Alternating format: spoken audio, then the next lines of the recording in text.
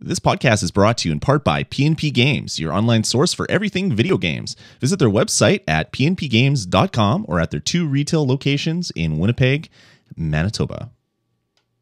Let's get started.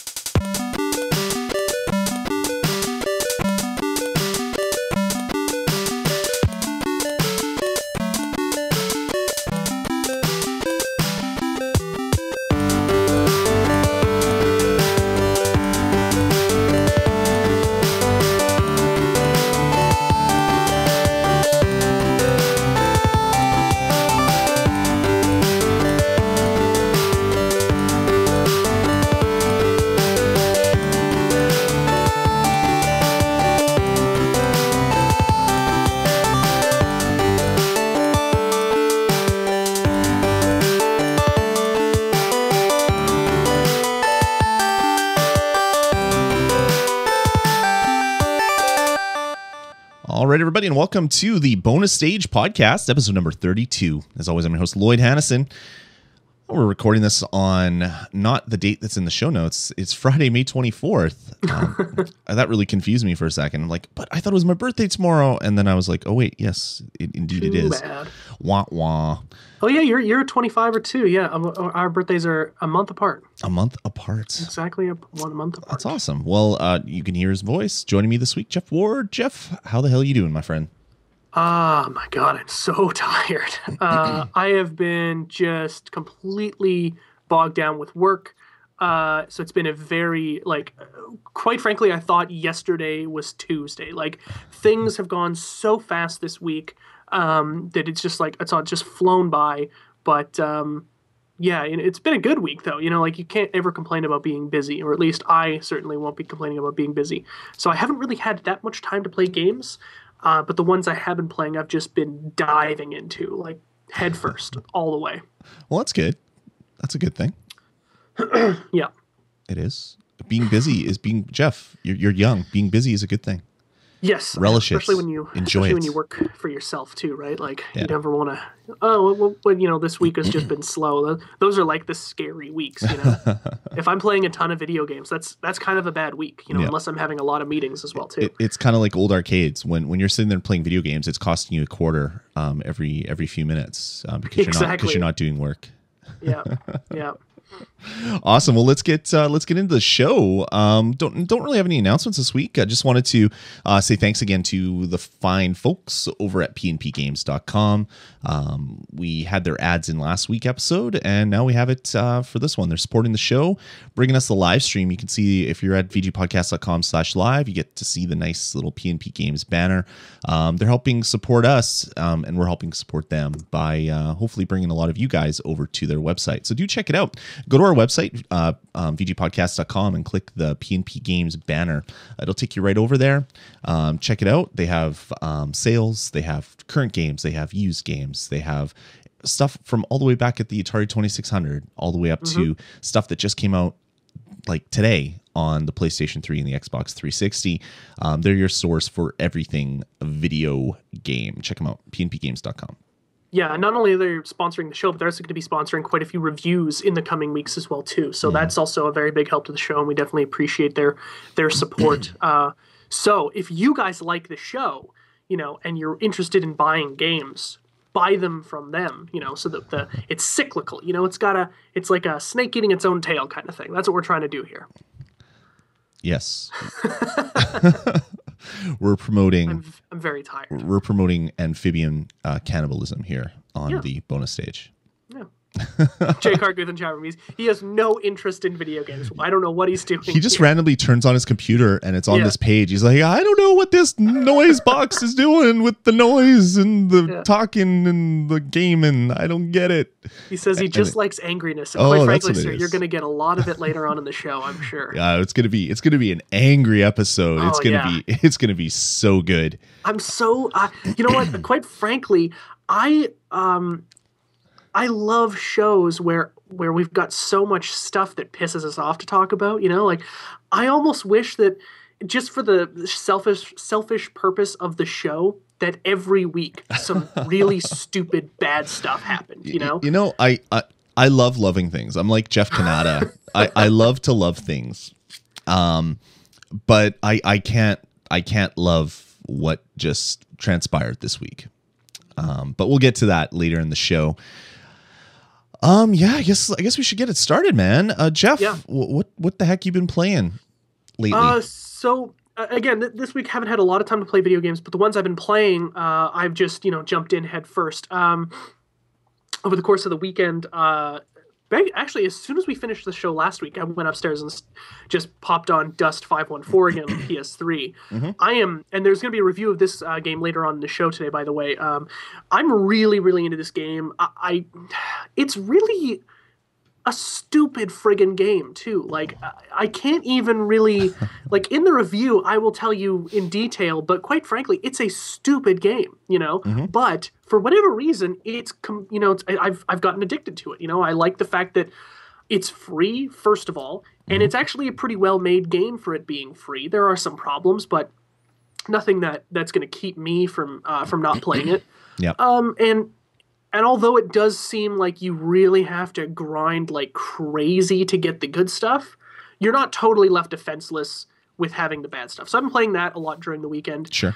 Um, and uh, and then I went and picked up uh, Metro Last Light from PNP, and I've been playing that periodically during the week. I had a nice four hour session while I was rendering a video on my computer this morning playing that. Um, and the review of that will be up next week. I haven't had a chance to finish the game yet, so I, I definitely want to uh, get more into that game before I kind of come to a real solid uh, review state. However, at this point, the game is fantastic. There's very little wrong with it. There are some things that are strange and uh, some weird bugs. I was actually there was a part of the game where, you know, you, you there's like a rail station and you walk out and there's like a woman, a red-haired woman in like a leather jacket and jeans, crying about something, and she, you know, there's some lines, and then this rail car comes by and the same woman, the same character model is riding on it, and she just passes your field of view, and I'm like. What the hell was that? And then I walk around the corner and there's the same woman sleeping on a bed. Wow. Like with within like 30 seconds, I saw three of the same character models. I thought that was hilarious. it's like playing a sports game from like three, four, five years ago where you'd see the same animation. It's like, Yeah, you know, or, or any sports game today where you just look into the stands and see fans, you know, and it's like the same three people. well, that's exactly what I was saying. Like, it's just the, the one dude in the background going like punching. Yeah, And he does that forever. And it's like Yeah. nothing's happening. And we're just, it's like a rain delay and the guy is still punching in the air. You know, and it's like, as wow, good as that is games- so boring. as good as game uh, sports games have gotten in the last decade, Mm-hmm. that's something they've never fixed, and I don't think they give a damn about it either. Like, Oh, no, I it's mean, just it's in not- every game. It doesn't make the game better.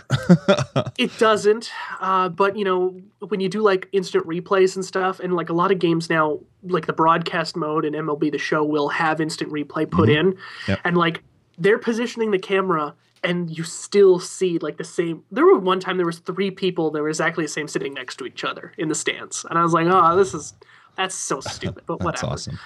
Um, so I've been really digging Metro Last Light. Uh, I think it's actually a lot better than the first game as well too. Um, it's That's what I'm hearing. certainly as difficult, Mhm. um, but but not in a punishing way.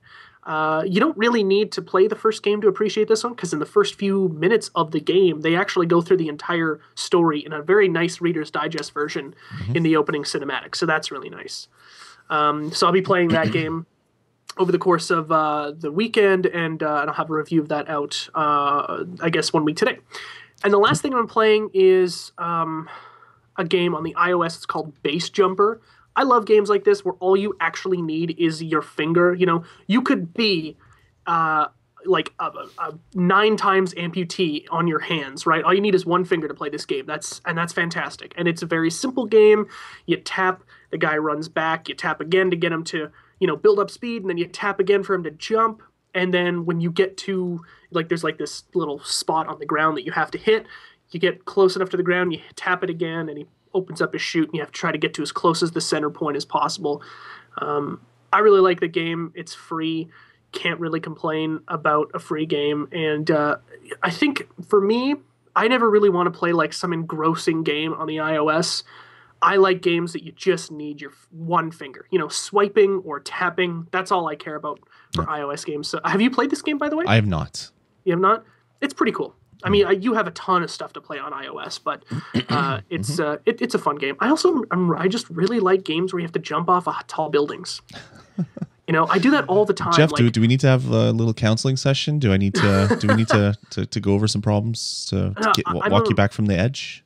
I love heights. I love vertigo. I was filming today in a in in the office building, or not the Richardson building, but that that blue glass building downtown on Wednesday, and we were up on like the 18th floor, and you could see all the way down to the street. And I was like, man, that's just I love that sensation. Yeah, you know, skydiving when I was 18, that was fantastic. So anytime there's like a part in a video game where you could just jump off a high cliff, I'll save it, jump, see what happens. I just I don't know, it's just stupid. I like that kind of stuff. So Nice. base jumper on the iOS is the the other thing. The last thing I've been playing this week. Uh, what about you? Cool. Um, I've been playing a little bit. I've been um p- picking up some old games. Like I'm I'm waiting for some new stuff to come out. Um, so I I bought um Deus Ex Human Revolution on the PlayStation 3 a while ago for a really stupid sale. Um, so I've been making my way through that, and it's it's a really really good game. It's um it's not exactly what I expected. There's a lot more talking with random people that don't seem like they're quest givers um, and stuff like that. A lot of side quests and things, a lot of weird achievements. like I I basically um, was going through this quest line and I was getting tired with the the woman that was talking to me. Um, and I ended up like shooting her in the head. And I got an achievement for it because I completed the quest. It's just like, oh, well, I killed her, but I get that hmm. All right. It was really really weird. But i'm really digging it though. Um Also, the, the achievement wasn't for shooting her in the head. no it was just, for that was an ending for to com- that. yeah for completing that quest line and i guess that was a valid end state for the quest line shooting her and killing her. It's like all right that's odd. Um so yeah i've been playing through that and having a lot of fun. I guess i'm about halfway through or so. It feels that way anyway. Um so i still got a little bit more gameplay on that. It seems like it's going to be a longer game. I thought it would be like six to eight hours and it seems like it's more like the eight to 16 hour uh, type game. So i'm getting a lot of play out of that. Um, also been playing some stuff on my um, iPad. Uh, I picked up uh, Poker Night 2, and that's the Telltale Games um, poker uh, game that came out on the PlayStation 3, Vita, and I believe PC. And it stars a whole bunch of different characters. There's um, uh, there's Claptrap. I'm trying to think of the the big guy. Brock, I can't remember what he's from. Venture Brothers. Um, there's Claptrap from Borderlands. There's um, Ash from the Evil Dead series, um, and there is uh, Sam from Sam and Max. Uh, and then the poker is actually being um, the hands and everything and all all the communication between the rounds is actually GLaDOS from Portal. And Oh, then cool. and then there's other there's other characters that come by and stuff like that. There's um uh, Mad Moxxi runs the bar, so she's always leaning over the bar and and and talking to people as they get kicked out. And it's just it's a fun game. Um, the reason why I picked it up on iOS is because it's fifteen dollars everywhere else, and then I saw that it dropped on iOS for five bucks. It's like I will pay five dollars for this, And Fifteen bucks is a lot to ask on on on any app store. yeah, I mean it's a poker it's a poker game. Um, it's it's fifteen dollars on PlayStation Network and PC on Steam. That's normal price for that type of stuff for a game. Um, you buy lots of stuff on Xbox Live Arcade for fifteen dollars. It's that that type of thing.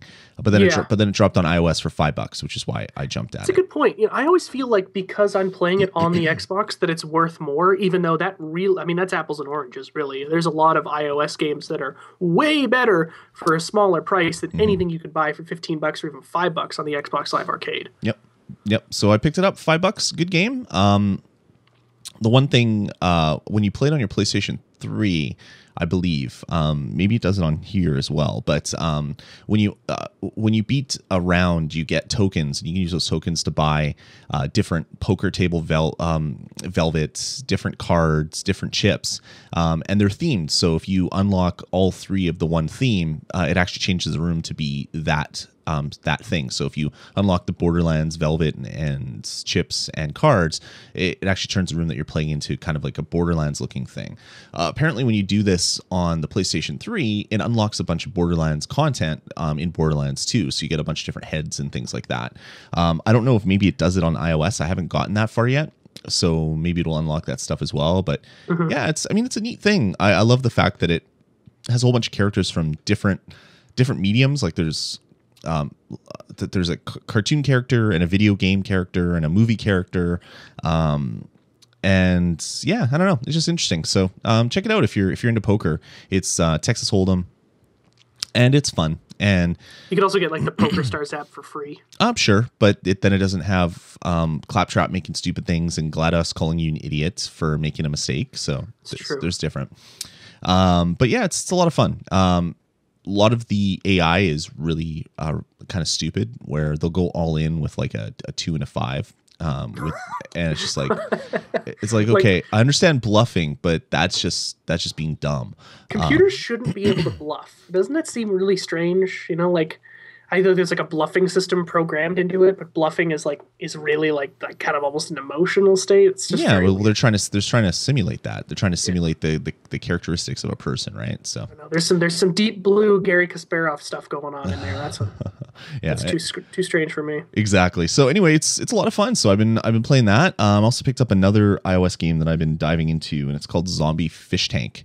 And you are a zombie fish, and you have to eat smaller fish to grow bigger, and then you can eat the bigger fish, which you couldn't eat before, but they could eat you. But when you get big enough, you can eat them.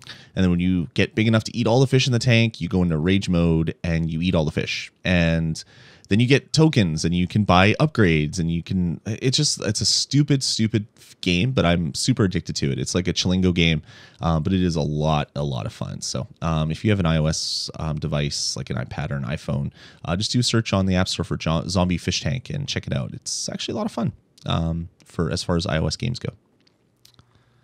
Mr mr texting while we're while we're talking. I can see you on camera jeff Yeah, yeah. I have important business to conduct. uh You're sure. talking about a zombie fish game. yeah it, which is better than mlb the show No, okay. It is. Okay. It is. Let's let's not get. There's proof ourselves. of that. There's Don't proof of that. let's not say stuff you can't take back here, Lloyd. I- mean, I- I don't wanna take it gone back. way too far now, way too far, and I quite quite frankly I'm offended. I'm offended as a person. Oh, oh, I'm I, I feel bad about offending your love No, you of don't. the game. No, you don't. No, I don't at all. all right, let's get into the rest of the show. Let's get into new Yeah. releases. So, um, yeah, some decent games coming out this week.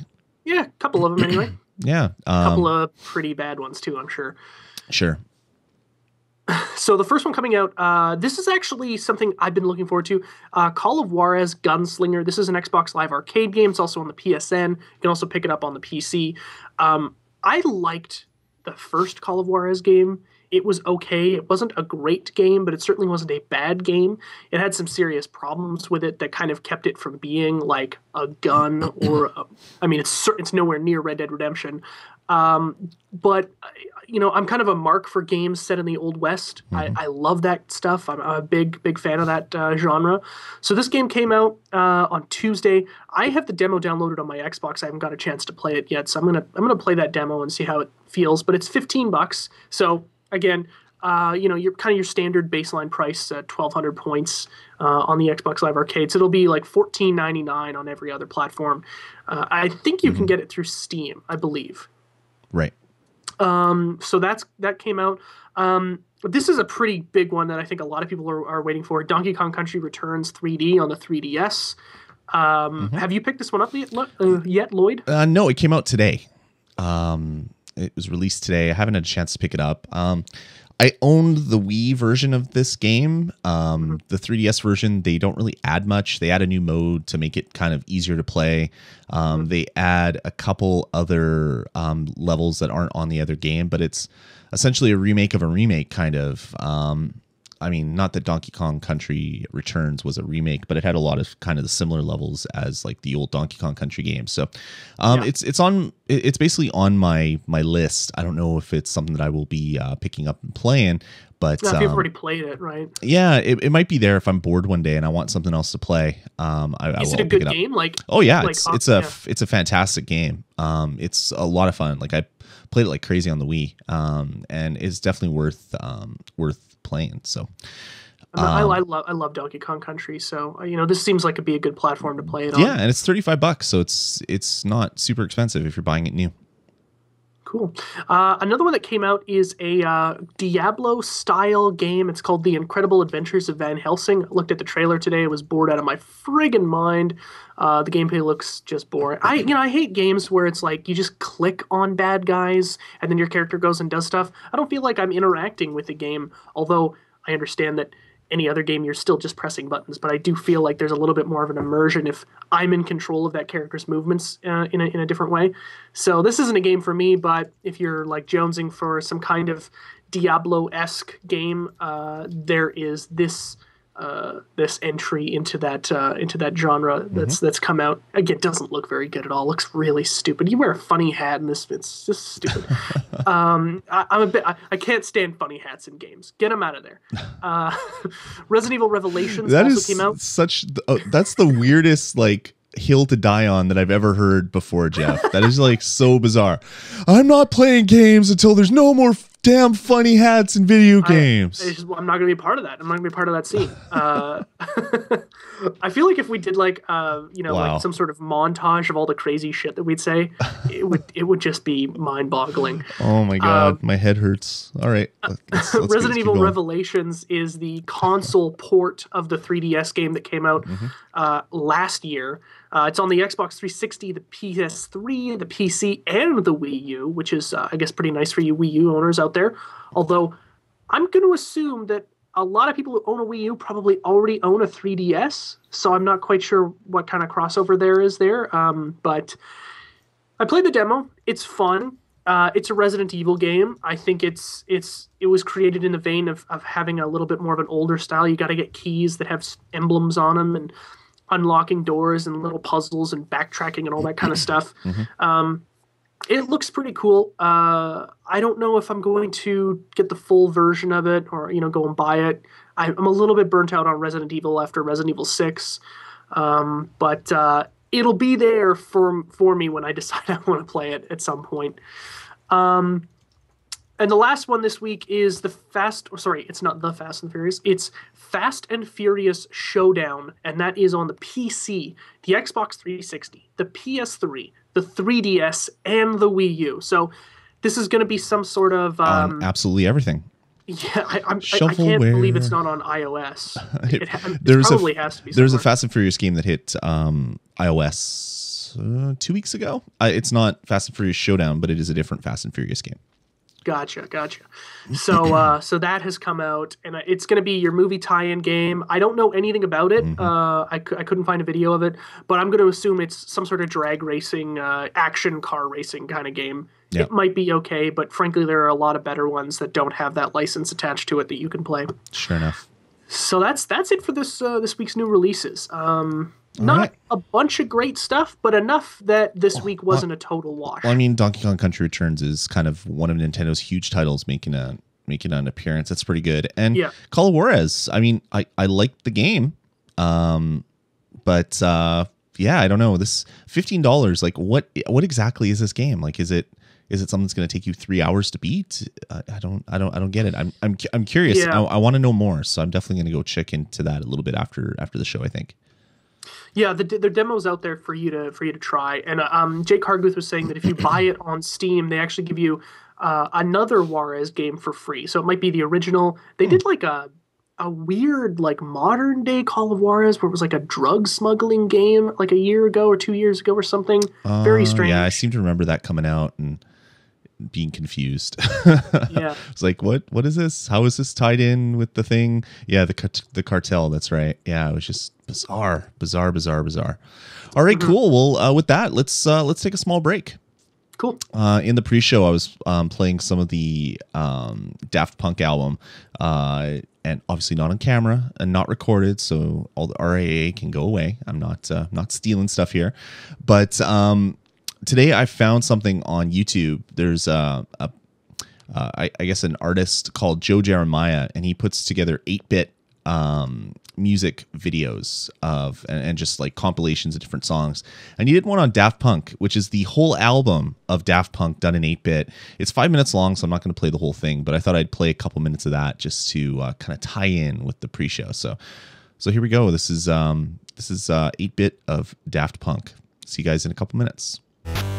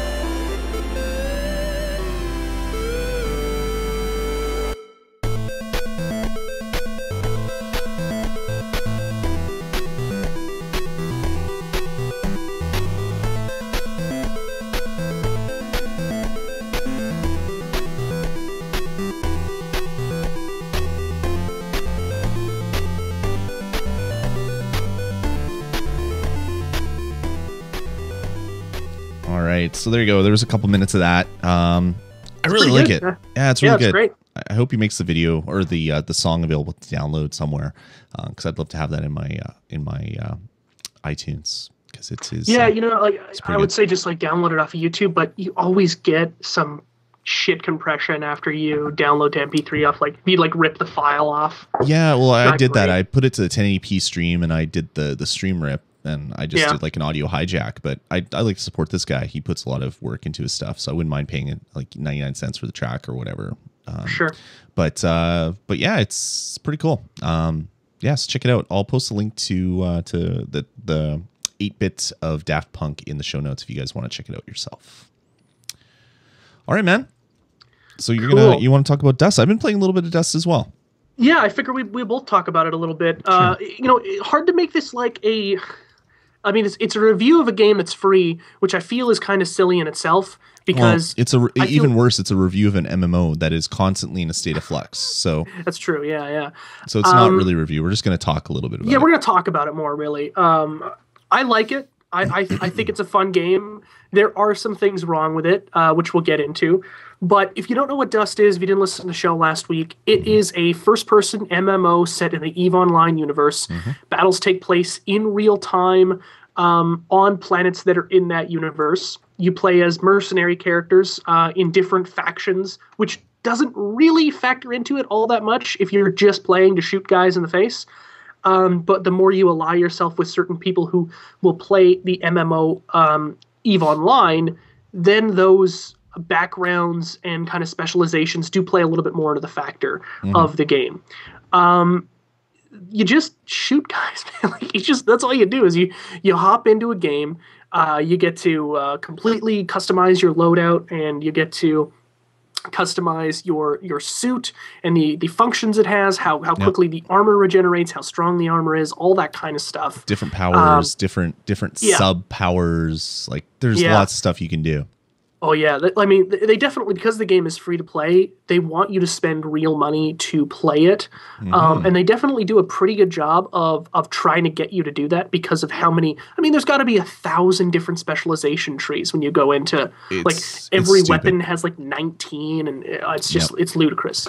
Um, but because of that, I kind of get addicted to kind of planning out how my stuff works. You know, like Hmm. I feel like oh, you know, I, I've been really getting killed quickly lately, like in the last few matches. Maybe I want to put more points into this, and I'll, you know, spend a couple of games building up enough credits and enough uh, points, uh, you know, experience points to kind of throw into this specialization. And it kind of works, you know, like again for a free game, I'll never put a cent of real money into this game, but they're like Lloyd, you were telling me, there are a lot of people who have. Well, yeah, it's it's. Uh, I was telling Jeff kind of my first experience with this, and I was like, "All right, okay, cool. I'm in this armor, and I look cool, and I got this this machine gun that was, I guess, a bonus because I had PlayStation Plus way back in the day, and loaded it up and jumped out, and it's like, great, this is gonna be awesome. I come around a corner and I see a, a red blip, so the enemy's there. He comes around a corner and he shoots me once. I like I, I heard one bullet and I was dead. And it's like, what the hell was that? So I'm Yeah. like, okay, that's interesting. So I respawn and it takes 10, 15 seconds, whatever. I respawn. I come around a corner and a guy's standing hacking something. So his his his back is turned to me and he's like focused on hacking something. Mm-hmm. So I go behind him and I empty a whole clip into his back, reload, which takes forever, and start emptying another clip into his back. He finally turns around, shoots me twice, and I'm dead. Was like, Yeah. what the hell is this all about? So Yeah. I, I was basically not going and engaging people anymore. I was kind of taking pot shots and hiding because obviously everybody that I was playing against had all these crazy high powered weapons and crazy high powered stats and had had moved their tree along, um, where I was just a newbie. Um, so I can definitely see a lot of people getting really, really frustrated, um, really, really easily just because they come into the game and boom, you're dead, boom, you're dead, boom, you're dead. It's like, all right, that was fun. That was worth the two hour patching that I had to go through to get into the game.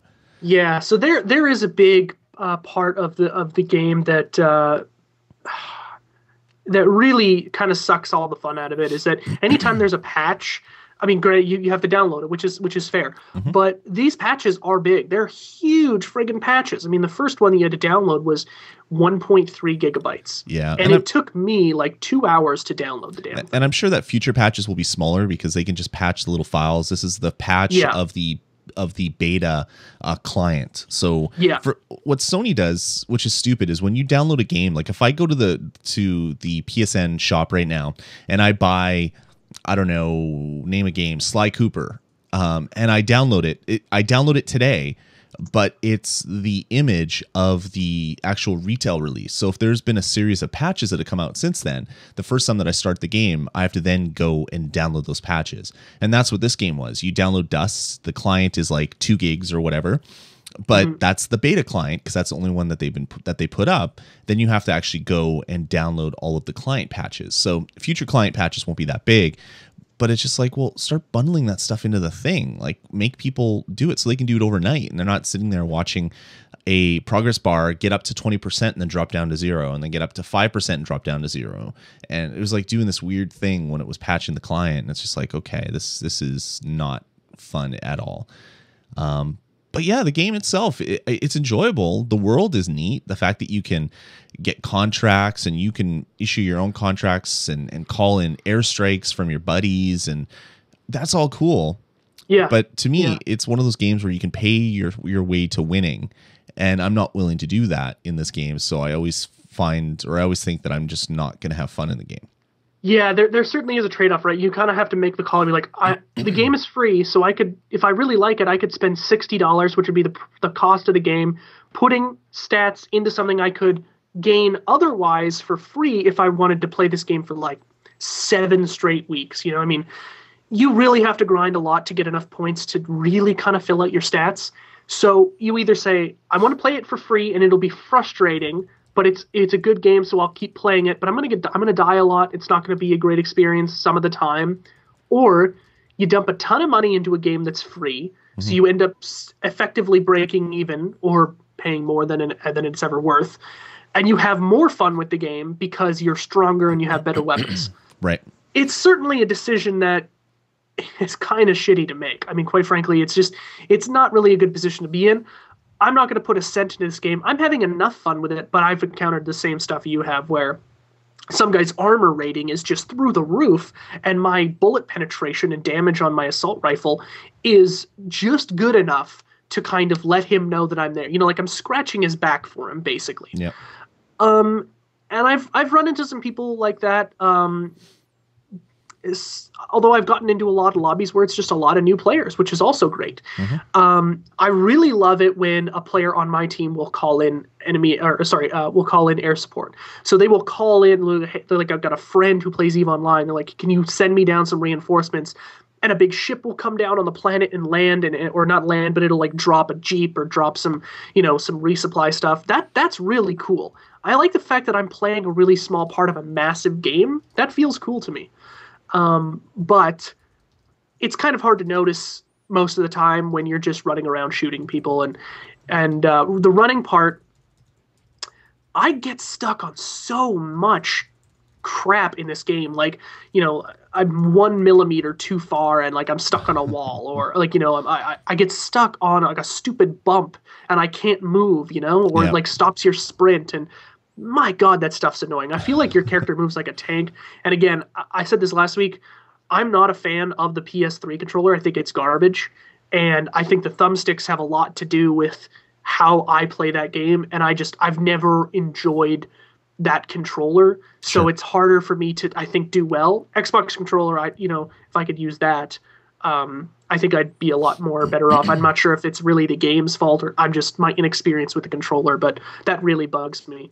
You were having some problems with your Jeep, right? Just Yeah. getting stuck on the tiniest rock. Yeah, it was funny. I I was uh, get, got into a vehicle, um, was driving through the, the the the world, and saw this little tiny rock. Like it was probably the size of like a soccer ball. Your tires are huge. It's like you're driving a warthog around the the, the world. I drive over this rock, and next thing you know, my my Jeep is kind of kind of skewed to one side, so I can't move. I can I can can backwards, forwards, nothing's working. I get out of, of the Jeep and I look, and you can see the rock but my tire isn't even on it. It has like this weird bounding box around this this this rock. So they definitely hmm. got some work to do. But I mean, it's free to play. These things you kind of have to look beyond them, I guess. Even though a lot of people are paying good money to play this game. Um, yeah. But yeah, I don't know. I it is kind of a weird thing, right? Yeah. Like if this game was 60 bucks, I would tell no one to buy it. You know, like you'd have to be a real hardcore first person shooter fan and you'd have to have completely exhausted all of the great ones out there for you to want to play this. Yep. But the fact that it's free, I'm like I can't really get mad at a game for being, you know, a little bit crappy in some regard when it's zero dollars. And they don't force you to buy anything you know? There's nothing that's locked out of the game. Uh, you know you can naturally get everything in the game that people pay for. It's just going to take you a long damn time. Um, and that's just kind of the gamble you have to play you know? I don't know how long this game's life lifespan uh, lifespan will be Yeah. um, but I, I got to assume they're making a lot of money on it because there's a lot of people playing it. You know? Yeah, and also people have been saying that same type of thing about Eve Online, and next thing Oh, you know, yeah. Eve Online's been around for ten years and and doesn't seem to be going anywhere. So Yep. who knows? It could be around for a long time, and it could it could keep getting really really busy, and and and a lot more people coming in, and especially once you get a lot of the Eve Online players um, that are basically playing like a political drama in space, um, Yeah. get their uh, other gamer friends to come and it's like, hey, come over here, play this game, and we'll help you. We'll give you all this money. We'll give you all these uh, powers.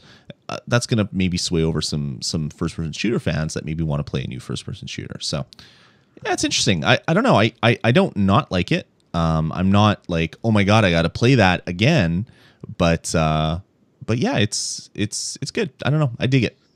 Yeah, it's kind of a cross between, I mean, visually and gameplay wise, it's kind of a cross between Halo 4 and Battlefield. Yeah, it definitely know? it definitely has the battlefield feel with a lot of like um, tracers on on people that are running around you. A lot of like things that are just shown in the environment. So people even behind walls, you'll see the little kind the, the little um, arrow above their head with their distance and stuff like that. It definitely feels um, battlefield to me. But I mean, it's it's fun and it's free. So the, if you have a PlayStation 3, Yeah. there's there's no reason to not go check it out. Just be Yeah, warned that you the first corner you come around, you will probably die. Yes, uh, unless you're really, really lucky. Um, Exactly. What did you think about the look of the game? Because I, Uh, I it thought looks- it actually looked pretty damn good. It looks really good. It, it looks to me uh, aesthetically, it looks almost better than than Halo to me. Like Halo, Halo, I loved kind of like the jungle stuff, but when you get out of that and you're in the normal kind of I don't know buildings and rock, it was just like, oh yeah, I've been there, done that. This gives I actually like like the more sterile, like light bridge environments a lot better than the, the jungle stuff sure, in Halo. sure, Uh, yeah, But I mean, they both look good. and this has kind of like a Tron kind of look to it. Everything has kind of blue lights and shiny and and um and and some really like crazy looking futuristic kind of stuff. Like there's these huge cannons that are firing at these ships that are orbiting this planet that you're fighting on. And yeah, they look they they look good. I don't know. I I dig it. Yeah. I dig yeah, it. I it's, it. it's cool. It's fun. There's there's no real reason uh, not to try this game or give it a shot uh, because it's free. If we haven't said that before, this game is free. So Oh, it's free? Definitely check it out. Yeah, what did I pay for yeah. then? Some guy said, bucks, "Here, give me forty dollars, and and you can go download this thing. I'll, I'll make it so your so your account can download it." I shouldn't have listened to that guy. You shouldn't have. Damn it. so yeah, it. Dust five one four. Uh, it's going to be on my hard drive for a while because uh, my PS3 is. I have it for two reasons: playing Blu-rays and Netflix and playing exclusive. uh, yeah, I, I guess now it's a Netflix machine as well too. So it's it's uh, it's adopted a third reason. Um, so yeah, it's it's a Blu-ray player and it's an it's an exclusive player. So you know you've got you know any game that Quantic Dream makes, any game that Naughty Dog makes, you know, and and uh, and a sports game here and a, here or there. So it's always good to just turn that thing on and actually play a game instead of you know for the longest time my PS3 controller was a TV remote. You know, See, Like, you know, not it's kind of depressing. not everybody out there in the world's a fanboy that only wants to play stuff on one system, though, Jeff. So, Uh, you know what? I, am not really a fanboy of the Xbox, as we will talk about in a few well, minutes. not now, but before you're like, oh, I like my trophies, I like playing the games, I like playing, I like I do. talking to I- my friends. I really love it, but I know like- there's some fault. I, I, I would I would make the distinction of fanboy as someone who can never address the faults of the console. And Xbox has a ton of faults, of which I have admitted to. Like not that, not that I built the damn thing, but Alright. I have talked about ad nauseum. Sure. I, I it's my favorite system, but I'm not. I don't think I'm a fanboy of it. That said, I've already bought two Xbox One consoles. All right, let's move on. Uh, let's get into the news. Um, we got a good one for you. uh, Microsoft held their press conference this week on Tuesday um, to unveil their their new Xbox, what was coming next for the Xbox, and um, they announced something that that is silly and ludicrous, and even the name is just like what? Um, they announced what they're calling the Xbox One. Um, which is going to make parents all over the world happy because they've already bought one of these 10 years ago. They don't need to buy another yeah, one. It's yeah. just such a weird naming thing. But anyway, let's let's break that down actually because I, I you know what people have talked to me before. They've listened to the show. They're not, they don't write in or whatever. And they're like, I don't understand why you and Lloyd think that the Wii U is such a bad name. And it's not that we think it's a bad name, but Mhm. from a marketing standpoint, well, we do think it's a bad name. Mhm. But from a marketing standpoint, it just makes no damn sense. it's not you it's not like it's we too. It's it's we Yeah. something, right? So, you have which to make a distinction that Yeah. this is the next level of the system. And I understand what Xbox is trying to do by saying, listen, this is more of a reimagining of an Xbox than it is the next step of Xbox. I Mm-hmm. think they're trying to say that this is really where Xbox is going to start. You know, actually, they had uh, Rev3 Games. Adam Sessler did a, uh, a, a interview with uh, their like marketing PR guy or whatever, and the one of the pull quotes from him was that uh, it might be too early to say, but this might be the last console you'll ever need to buy. And I think what they're trying to do is say like this is what we want it to be. We want it to be this all-in-one thing. And i understand that. It's still really really stupid you know? Because like you said on other than us right people who are really into the industry and go and look at it people who are in the chat room listening to this show if you're the average everyday parent you know who's going to walk into the store f- around christmas time and say xbox one doesn't my kid have the 360 are you telling me this is 359 versions less than that you know and it's mm, Yeah. more expensive? I don't understand. It's and anytime someone has to ask a question about a console they're probably not going to buy it. Yeah it's it's awkward at best. Um it's just a, a strange name and i get it. It's one console to rule your living room. Mm-hmm. it's it's the one thing that you need to turn on. It does everything for you. I, I mean i understand is- the this marketing. Is sauron's xbox console. Yeah it's th- this goes back to microsoft having problems naming things forever. Like um like windows phone 7.5 um mobile.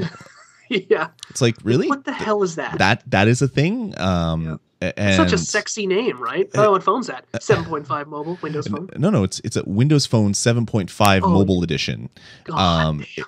like it's it's it's asinine. Like their their naming is just like they don't have someone that knows marketing on on their staff. And xbox has always been like different. Like they're good at naming things. They the Kinect was like oh yeah it connects you to your console. It's it has the k in there so it's like it's it's like you you you think of you think of other things right? It, it's it's a good name. This is just like the Xbox One already exists. The reason why they called the Xbox 360 not the Xbox 2 is because the PlayStation 3 was coming out and they're like, "Oh, well we don't want to seem one one less than the PlayStation, so we're going to call it the 360." So we have a 3 in the name Yeah. as well. And now they're going Yeah. back and calling it the Xbox One. And uh the Tony in the know, chat room I agree.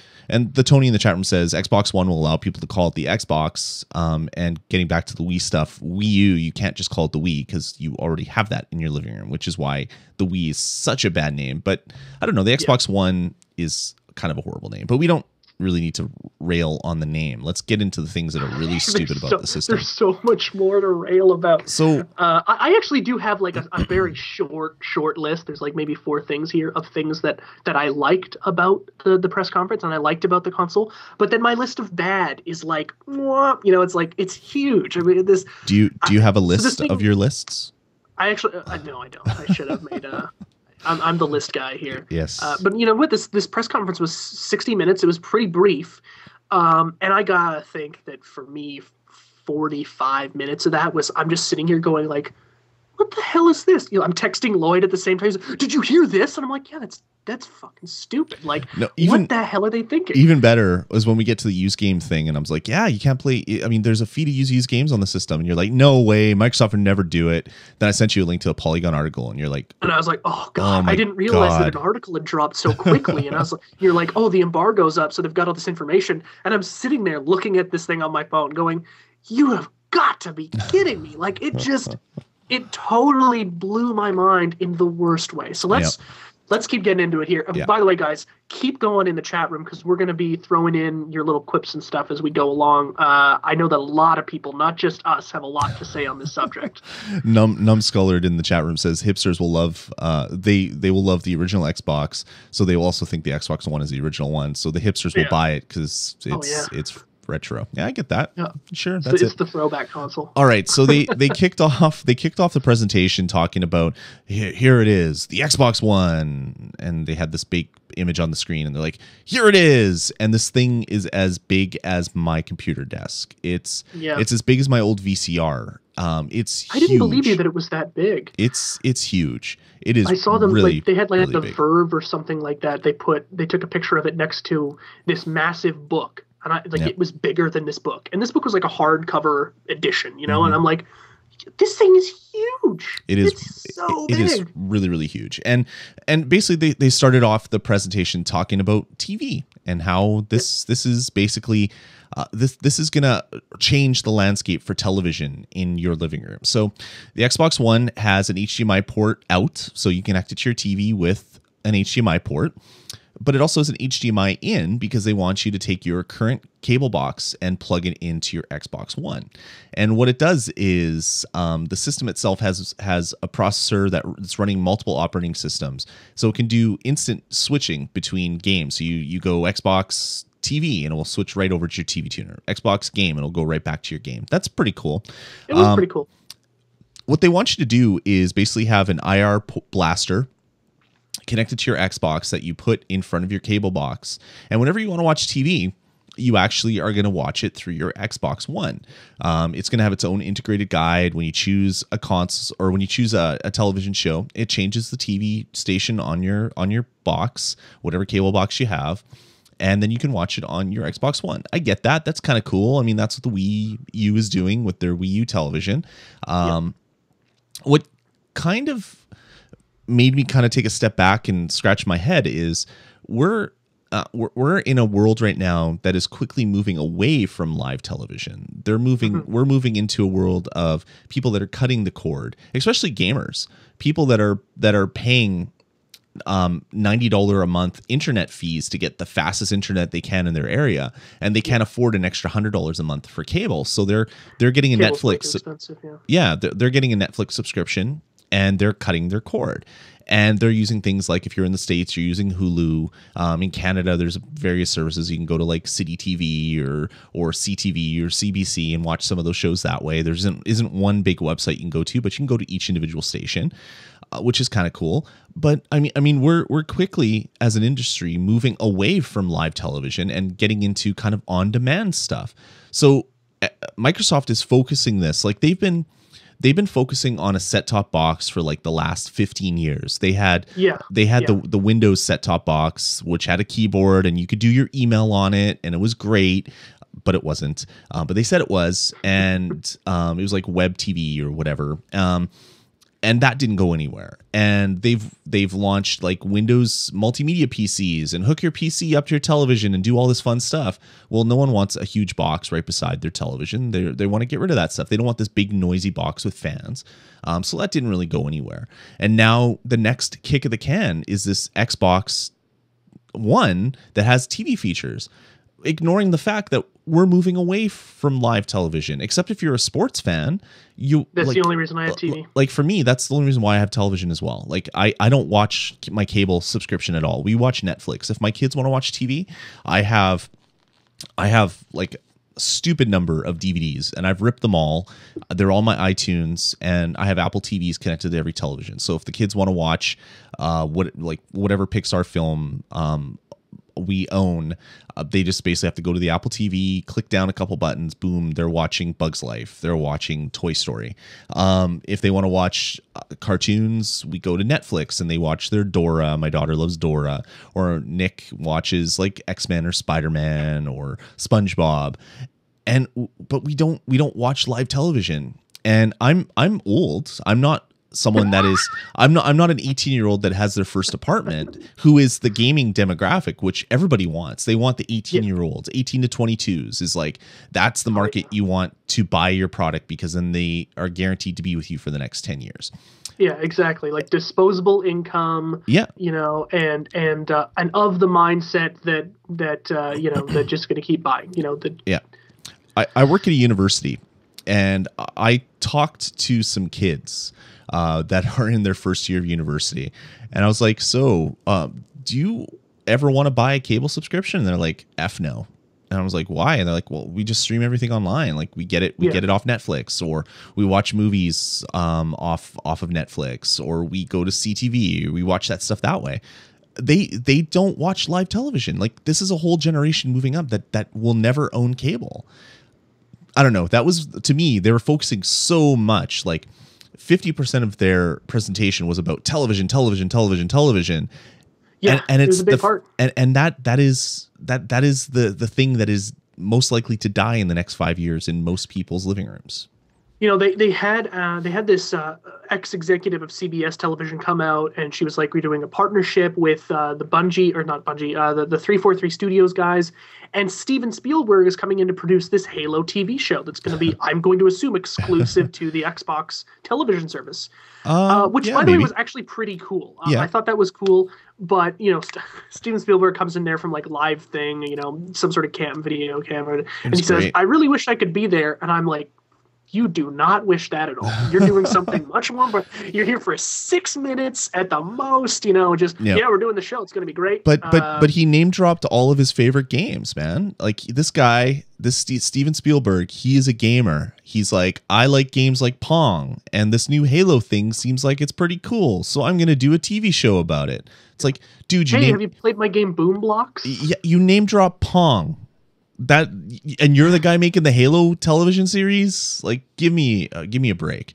But yeah, like they didn't say whether that's going to be on terrestrial television or if that's going to be focused fully on like a streaming thing from Xbox Live. But it was just like Tony in the chat room. Spielberg mentioned more games than Microsoft did. that is very true. That is very yeah, true. he got really close. Actually, there might be the same amount of games. That's hilarious. Holy shit! Oh, it's crazy. So anyway, they they spent way too much time talking about something that is not going to make a like it, it's not going to make a splash in many people's living rooms um, unless you're an avid sports fan and you're going to have to keep your cable subscription just to get your ESPN or your Yeah. TSN.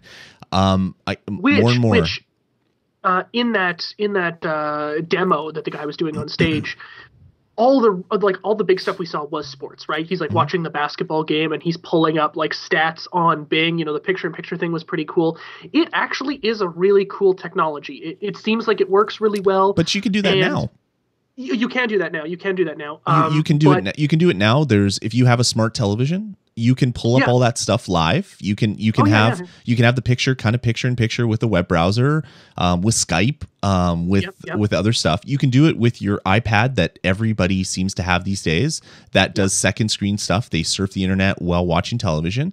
Like this isn't this isn't like a, a revelation. This isn't like holy crap. This has never been done before. This is just like oh yeah, it what, what I was going to say though is that this would have been really mind blowing if this was like the you know the launch event for the Xbox 360. Sure. Then you would have had something, you know. But And- it's cool, but I don't need it, and I don't care about it, you and, know. and the thing that this thing the thing that's even worse is this box this xbox one doesn't even have a tuner inside of it so that hmm. means that if you're in the states and you get you get over the air hd signals you can't just watch that with your xbox you need another box that plugs in which is really bizarre because for the longest time microsoft was trying to do the iptv thing with the xbox 360 where you'd pay a monthly fee and you'd get your iptv uh, cable subscription streamed to your xbox. So it's just like did you forget what you did four years ago? Like I don't know. It, it seemed very like schizophrenic. Like they don't know. They, Yeah. they they have to be in the living room because that's where Apple's going. They're bringing up the Apple television, so we got to get there. We got to be the box in the living room. I'm actually glad you brought that up because uh, it's been certainly circulating quite a bit, and it's a it's a subscription that I'm subscribing or theory I'm subscribing to. It really seemed like a lot of this. First of all, I don't know if Xbox had a real decision, like a, a decision made about who they were gearing this show for. Like, you've got a, you've got this thing that's going to be live on Xbox Live, right? It's going to be live on the internet, and it's also going to be live on Spike TV at 10 o'clock in the morning on a Tuesday. Who are you expecting to watch this, right? You're going to have your hardcore gamers out there. You didn't show a lot of games. We'll talk about that in a minute. Yeah. You showed a ton of TV stuff, right? And I'm sure if anybody's watching this on Spike TV, TV, it's the only thing they'll watch on TV that month, probably. You know, it's you know, it's so bizarre, Mhm. and it's just it's such a strange way to kind of structure this entire event. Well, it, it kind of said everything about the event when they went to live television and the show that was on the screen was The Price is Right. Yeah. It's like this is a this is a console for the old people that still watch game shows during the day. Apparently, is what they were is what the marketing was trying to say. I don't know. so you know with the theory right of of xbox having this event to show people that hey listen apple probably i don't this means not it's not specifically said but the theory is that apple probably will not have a game console that will come with their you know apple tv if they're making a tv kind of thing Mhm, Because They're, they like, already trying to- they already have a game console. It's called an Yeah. iPad and an iPhone and an Apple Yeah. TV that costs ninety nine dollars that you send your AirPlay stuff to. Like yeah but, but but like what you're saying is that that they were trying to beat them to the punch in this section and i totally buy that and i, I totally agree with that. I think yeah, You know, they beating have, them like- to an irrelevant thing that isn't going to Exactly, exist in five years. Like it's just yeah I don't know. you want to race you to that tree? What are we gonna do when we get there? Yeah, I don't know. I'm just gonna beat you there. It- It's running with your arms out towards a brick wall. Like, yeah, you got there first. How did that work for you? Like, hurt. I don't know. Yeah. So anyway, they, they focused way too long on the television features, which just don't make sense. They they had some really cool. They announced a um, partnership with the NFL, um, which is really cool. Um, if you're an NFL fan and you have, um, if you if you do like. If, if you run leagues with your friends and you do fantasy football, uh, that is all tied in now through NFL.com. So when you're it was gonna be free though. uh, I, I would assume it is because get it to set up a if you're if you're doing a fantasy team, um, you can there's a lot of websites you can go to where you can do that for free. They didn't say Yeah. it was free. I assume it is, maybe not. Um, they've said. NFL said makes you pay for everything. They're well they ridiculous. they also said uh, there's rumors coming out that Microsoft paid the NFL 400 400 million dollars to to get into this partnership with them. So I hope they would get maybe free uh, fantasy football stuff um, with that with that deal. But hope. but hey, who, who knows? Who knows, right? Uh, but it's really cool. Like you're watching the game and and your favorite guy scores, and immediately something pops up on the side. It's like you got you got two points on your fantasy league, um, and it shows your stats amongst all your friends and stuff like that. That's really cool. I like that. But you can do that right now with your iPad or with your Android tablet or with your even your Windows 8 tablet if you have one of those things that is actually not in a drawer somewhere. Um, Yeah. You can have all that stuff right while you're watching TV. Like it doesn't need to pop up on the screen that you're watching. Like I when I watch TV, I don't want to have a pop up on the screen. I don't want achievements popping up when I watch TV. It's like skipped commercial, achievement unlocked. Like I wouldn't want that because I'm watching television for the sake of watching television. Um, but the NFL thing is is really cool. We'll see what happens. Um, but it's yeah, interesting, yeah. They've- I mean, and with that, you know, they also talked a lot about how Xbox Glass support is going to be implemented, and you know, like on your iPhone and all these tablets and stuff. If Yep. you have a Microsoft Surface tablet and you're going to be buying an Xbox One, I think you're in for a really nice integrated system. Mhm. If it's stuff you use every day, that's another question. But I think it's they're going to work really well together, which I think is kind of interesting. But I mean, I'm not gonna I'm not gonna buy one of those friggin' Surface tablets. Like, what for? What yeah, for? yeah. It's it's it's just bizarre. Um. Anyway, let's talk a little bit about the hardware. Uh, the box Yeah. itself is huge. It's it Oh, seems like it's bigger than the original Xbox. It's about the same height. It seems like it's wider. Um. And I, it, it seems thinner to me than the original, but it definitely seems longer, like wider for sure. yeah, it's it's it's a big system. You're gonna have to have a lot of room in your entertainment center to put this thing. Um. I, and if I'm not mistaken, it's the same size as the tablets that Moses came down the mountain with. if I'm not mistaken, that's what I think. close. so yeah. Yeah. it's just just a massive. It's got to weigh a ton too. Like what the hell's inside of it that, you know, a big, lot of big, big get- fan the size of like Yeah. a fan in your house that is spinning really slowly to make Yeah. absolutely no noise in your living room. Well, yeah, and they say that it's it's a ne- nearly nearly uh, silent, uh, Mm-hmm. um, you know, running, which is cool. Uh, a lot of people complained about, oh, there's going to be so much TV integration in here, it's not going to play games. Uh, you know what? Quite frankly, I don't think that'd be the case. I think that they're going to be two kind of separate systems that'll use the same internal st- structure. Um, but I mean, we really don't know. But yeah, it's it's it's friggin' huge. Yeah, I mean, it's- it's, it's huge. just huge. Well- maybe maybe there's a power source, a power supply inside, so you don't have to have that Mm, I- Ghostbusters box. I don't think so. Like they they showed the back of the like some pictures showed the back and it has just a two prong plug, which Mm. looks like something you'd have hanging off of a of a brick. Um, that would go into it. So yeah, maybe. Um, but yeah, who knows? It's crazy. Um, controller, controller. the the controller is really cool. So they've redesigned the controller. Um, they've Well, made yeah they've redesigned. they've redesigned it. It looks it looks a hell of a lot different than the current one. Um, the, the sticks are um like the the- ribbed for your pleasure. yeah, they have. It, it looks like they're. Uh, I don't know. Like you bought a a Maglite, um, a Mag, Maglite flashlight, taken like the the the quarter inch of the bottom, sawed it off, made a little dimple in the middle, and then screwed it on to your current ones because it has like Yeah. this weird texture on the out, outside, um, and then it it has like a, a pit inside of it. It looks really really cool. It looks like something that Razer would have designed, um, Yes. which is neat. Um, Still convex thumbstick thumbsticks, which I love. I, I hate con or sorry concave thumbsticks. I hate convex com- thumbsticks. Mhm. Um, so I'm, I'm I'm a big fan of that. Yeah, it, Um, it looks really cool. It's a little bit taller because it has this little thing at the top with an Xbox logo. Um, Mhm. People are saying that there's like an IR a thing inside of it. So when you do stuff on your television, I don't remember them saying that. I heard it on a podcast today, and I'm just like, really? That seems really kind of weird. did say that. No, they, they didn't say it at all, but there's been a lot of interviews after, right? So, Oh, yeah, uh, so who knows where that came out? If that's the case, I'd be kind of scratching my head. That would be like the Wii U gamepad doing that type of stuff. Maybe, who knows? Um, I, I doubt it though.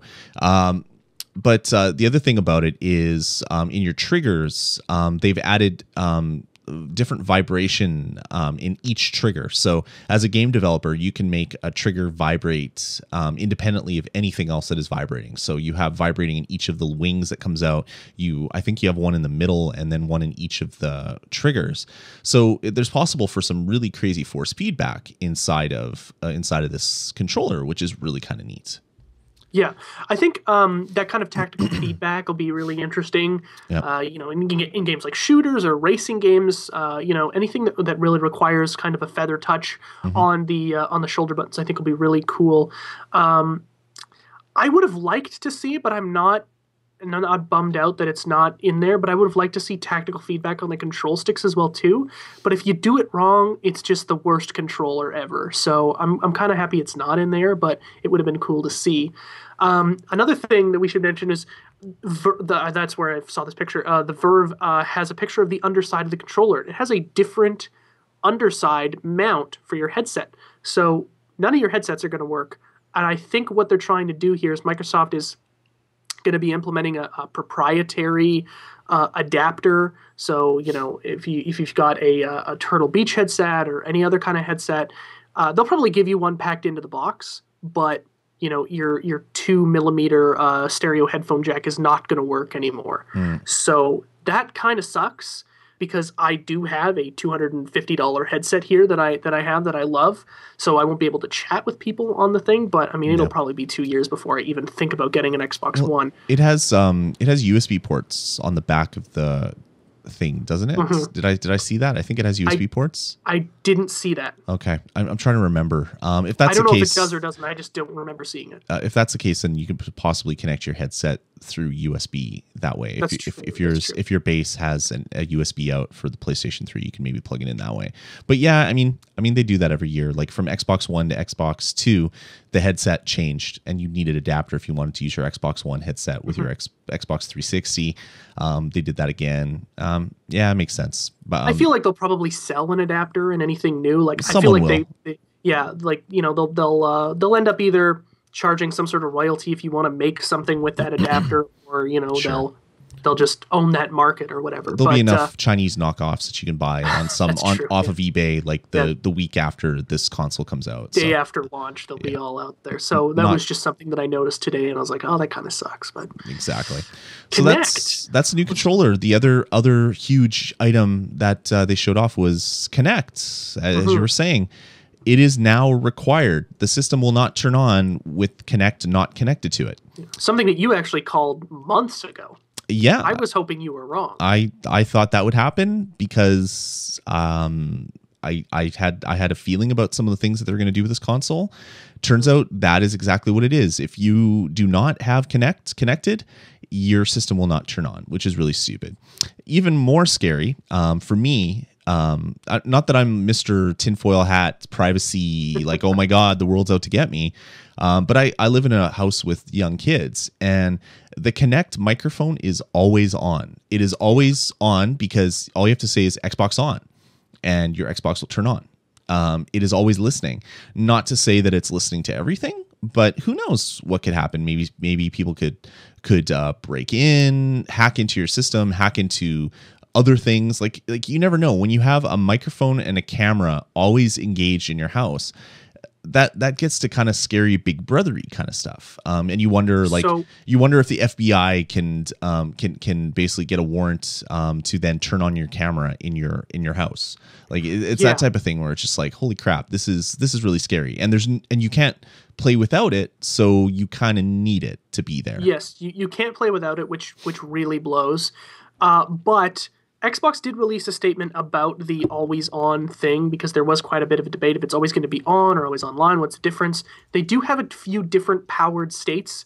So your Xbox can actually be off without unplugging it totally. You can send it into a state where, like mine is right here, it's completely off, and you know you'll walk up to it and say Xbox on. It won't do anything, right?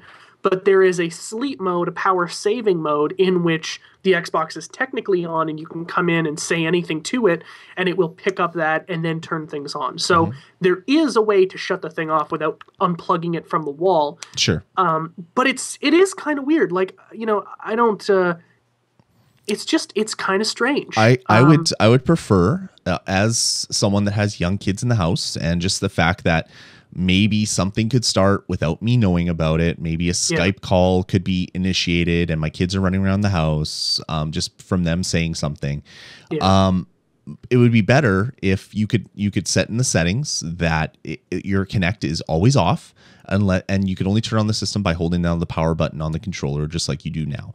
Um, that would be perfect to me. Um, Yeah. Unfortunately, that's not the case, and I, I don't really want to have a microphone and camera set up in my living room at all times. It's yeah, it's just it's like also kind of it, sucks that like there's no lens cover on the camera. Something of like like a door that you can swing closed, and yeah it, it is it is a little weird. And and I you know I think that a lot of people are going to have those concerns.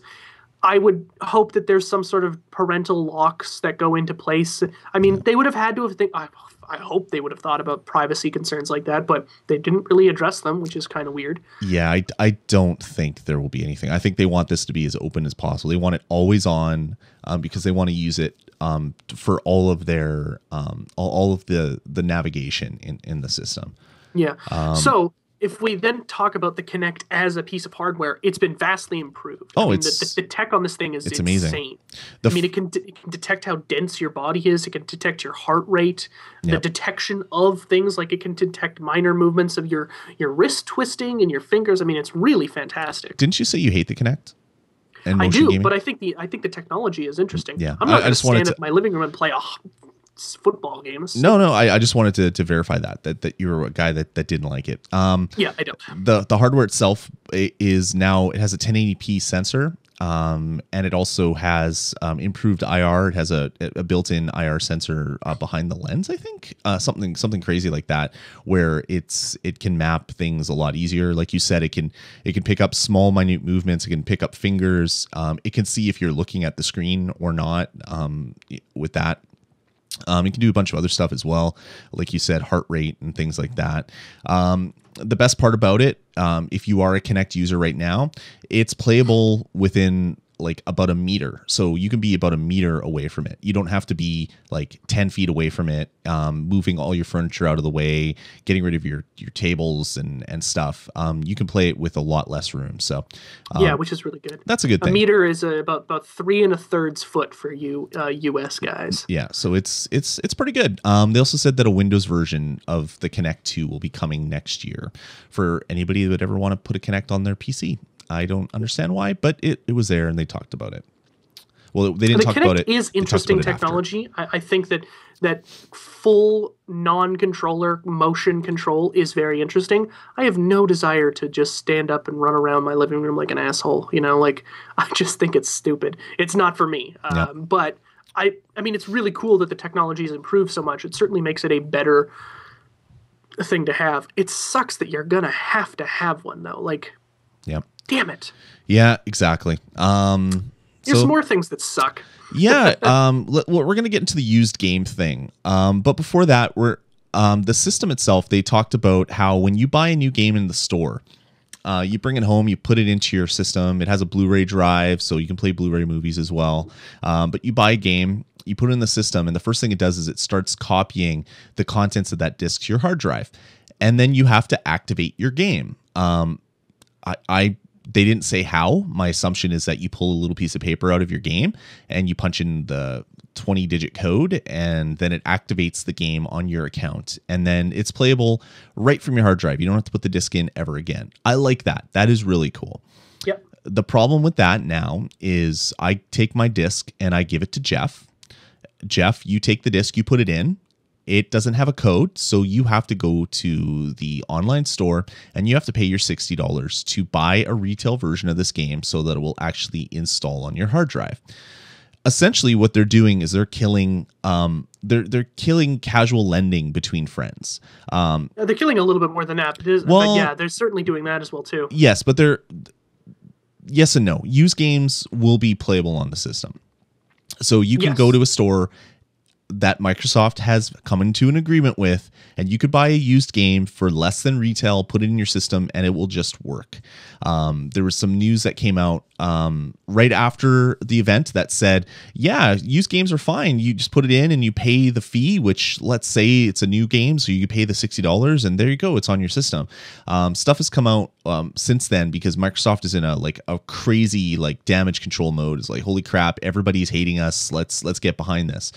So I don't understand how they couldn't have seen that coming. yeah, well, exactly, because apparently they don't have anybody in their marketing department that really Like, knows what people think. blinders are on on these people. Um, so basically, what they said is that the Xbox One will automatically authenticate uh, authenticate the game with an encryption code that's built into the game's disk when it's installed on the machine. So you don't need the code; it's built into the thing. Um, the authentication on the hard drive is then tied to the game, and it's verified regularly. So every 24 hours, it will verify that you still have a license to play this game. So if you take your Xbox or if your internet goes down, maybe you're changing providers, you don't have the internet for two days, all your games will stop working. yeah. So that's that's, really crappy. Which is Um, stupid because you don't have to have the internet to access your Xbox Live profile. If they're tied to your profile, they should also be saved locally, like all your profile and achievement information But is. you didn't let me finish. The reason Okay. why that is happening is because what uh, Microsoft's going to allow you to do is to sell your games back. So you can hit a button, it'll sell the game back. You no longer own it. Um, they don't want people to have, say, two consoles with your Xbox Live account with the game installed on multiple consoles, one account, because that's the only way that you'll be able to do that, and then um, basically sell a game, but then still have it on a console because it's constantly phoning home. Every 24 hours, it has to check with Microsoft to see what licenses are valid. So you could trade in a game and still play it for another 24 hours, but then eventually it's just going to stop working. Um, so they haven't said how this system is working yet, but used games will be available. They just might not be available the way that you like it. Um, I've heard a couple interviews. One was with uh, Major Nelson. I read a little bit of an article about it, and apparently there's going to be a way for a game, um, a game seller, uh, like whether it's GameStop or a mom and pop thing like PNP Games, to um, basically get a license from Microsoft for selling used games. Um, it'll evolve some sort of w- Windows a- Azure um, cloud app that they run. So they take the disc from you, they buy it for X number of dollars. They'll have probably a list of what they have to pay for each game. Um, they will put this game into a system, it'll read it, it'll take the authentication code, it'll invalidate that from your console. It will then make it available for um, repurchase. Um, the game store will then resell it. They'll pay a fee to Microsoft. They'll get a few dollars. So they haven't killed it, but they've killed it because if if if you go to PNP Games and you trade in a game that you paid sixty dollars for, the next week they give you fifty dollars for it. Then you pay another ten dollars, you get another game. They sell it for five dollars more than that. They make a little bit of money. Now trade in value is they're going to give you they're going to give you twenty dollars for it because they're still going to want to make a little bit of money off of this. And maybe they can't even do that. Maybe Microsoft is going to mandate what they have to pay for all these used games so that if I go on my Xbox and hit resell, or if I take the disc to uh, EB Games, I get the same amount of money we don't know what this agreement is because of course Microsoft isn't talking about this. They said they will disclose more information in the near future, but it all sounds like this is a way for Microsoft to control the price of games from day 1 to whenever this disc will not work anymore. Um, I think it's bullshit. I think it's terrible. I think it is horrible, horrible, horrible. And as I said after the Microsoft presser, all Sony had to do to win the internet that day was to say, "We love used games," and that would have been it. Yeah. Um, because I I want to trade in a game. I don't want to go through the garbage of, or, or sorry, I don't even want to do that. I want to buy a game, play it, and then give it to my buddy to play. Yeah. You can't do that now without the buddy paying sixty dollars to put it in their system.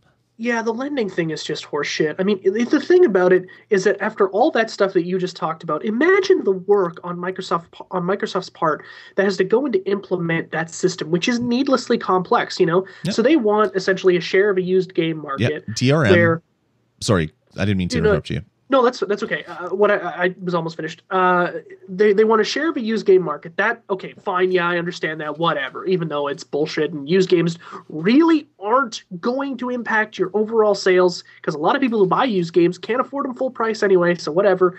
But you now have a system where Microsoft has probably spent millions of dollars trying to figure this out, and now they're going to slowly make it back. You know, eight bucks at a time. I mean, it's just mind-boggling. It's just the just the longest way to break even I've ever heard of in my life. Yeah, it's it, it just doesn't make sense to me. Like I understand why they're doing it, but it is so anti-consumer and so pro we want to make all the money. Um I I can't see this working for them. I I, I can only see this backfiring for some in in some way. Yeah, I mean it's just it's it's bizarre and like quite fr- like we can say about this entire Xbox thing.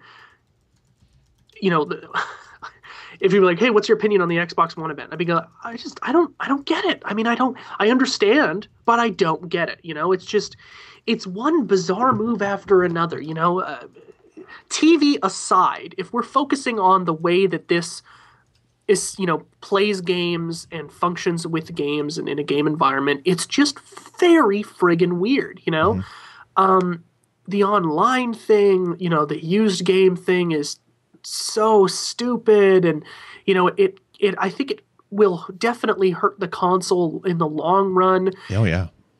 You know how I found about found out about games that were good, you know, up until I would say maybe the Xbox 360, is somebody lent them to me. You know, they're mm-hmm. like, "Hey, you know, I think you'll like this game, play it." You know, I don't have any money. I was I'm a friggin' kid, you know. My parents are going to buy me every video game out under the sun. Yep. They lend me a game and I'll play it, and then eventually I might go and buy it, you know.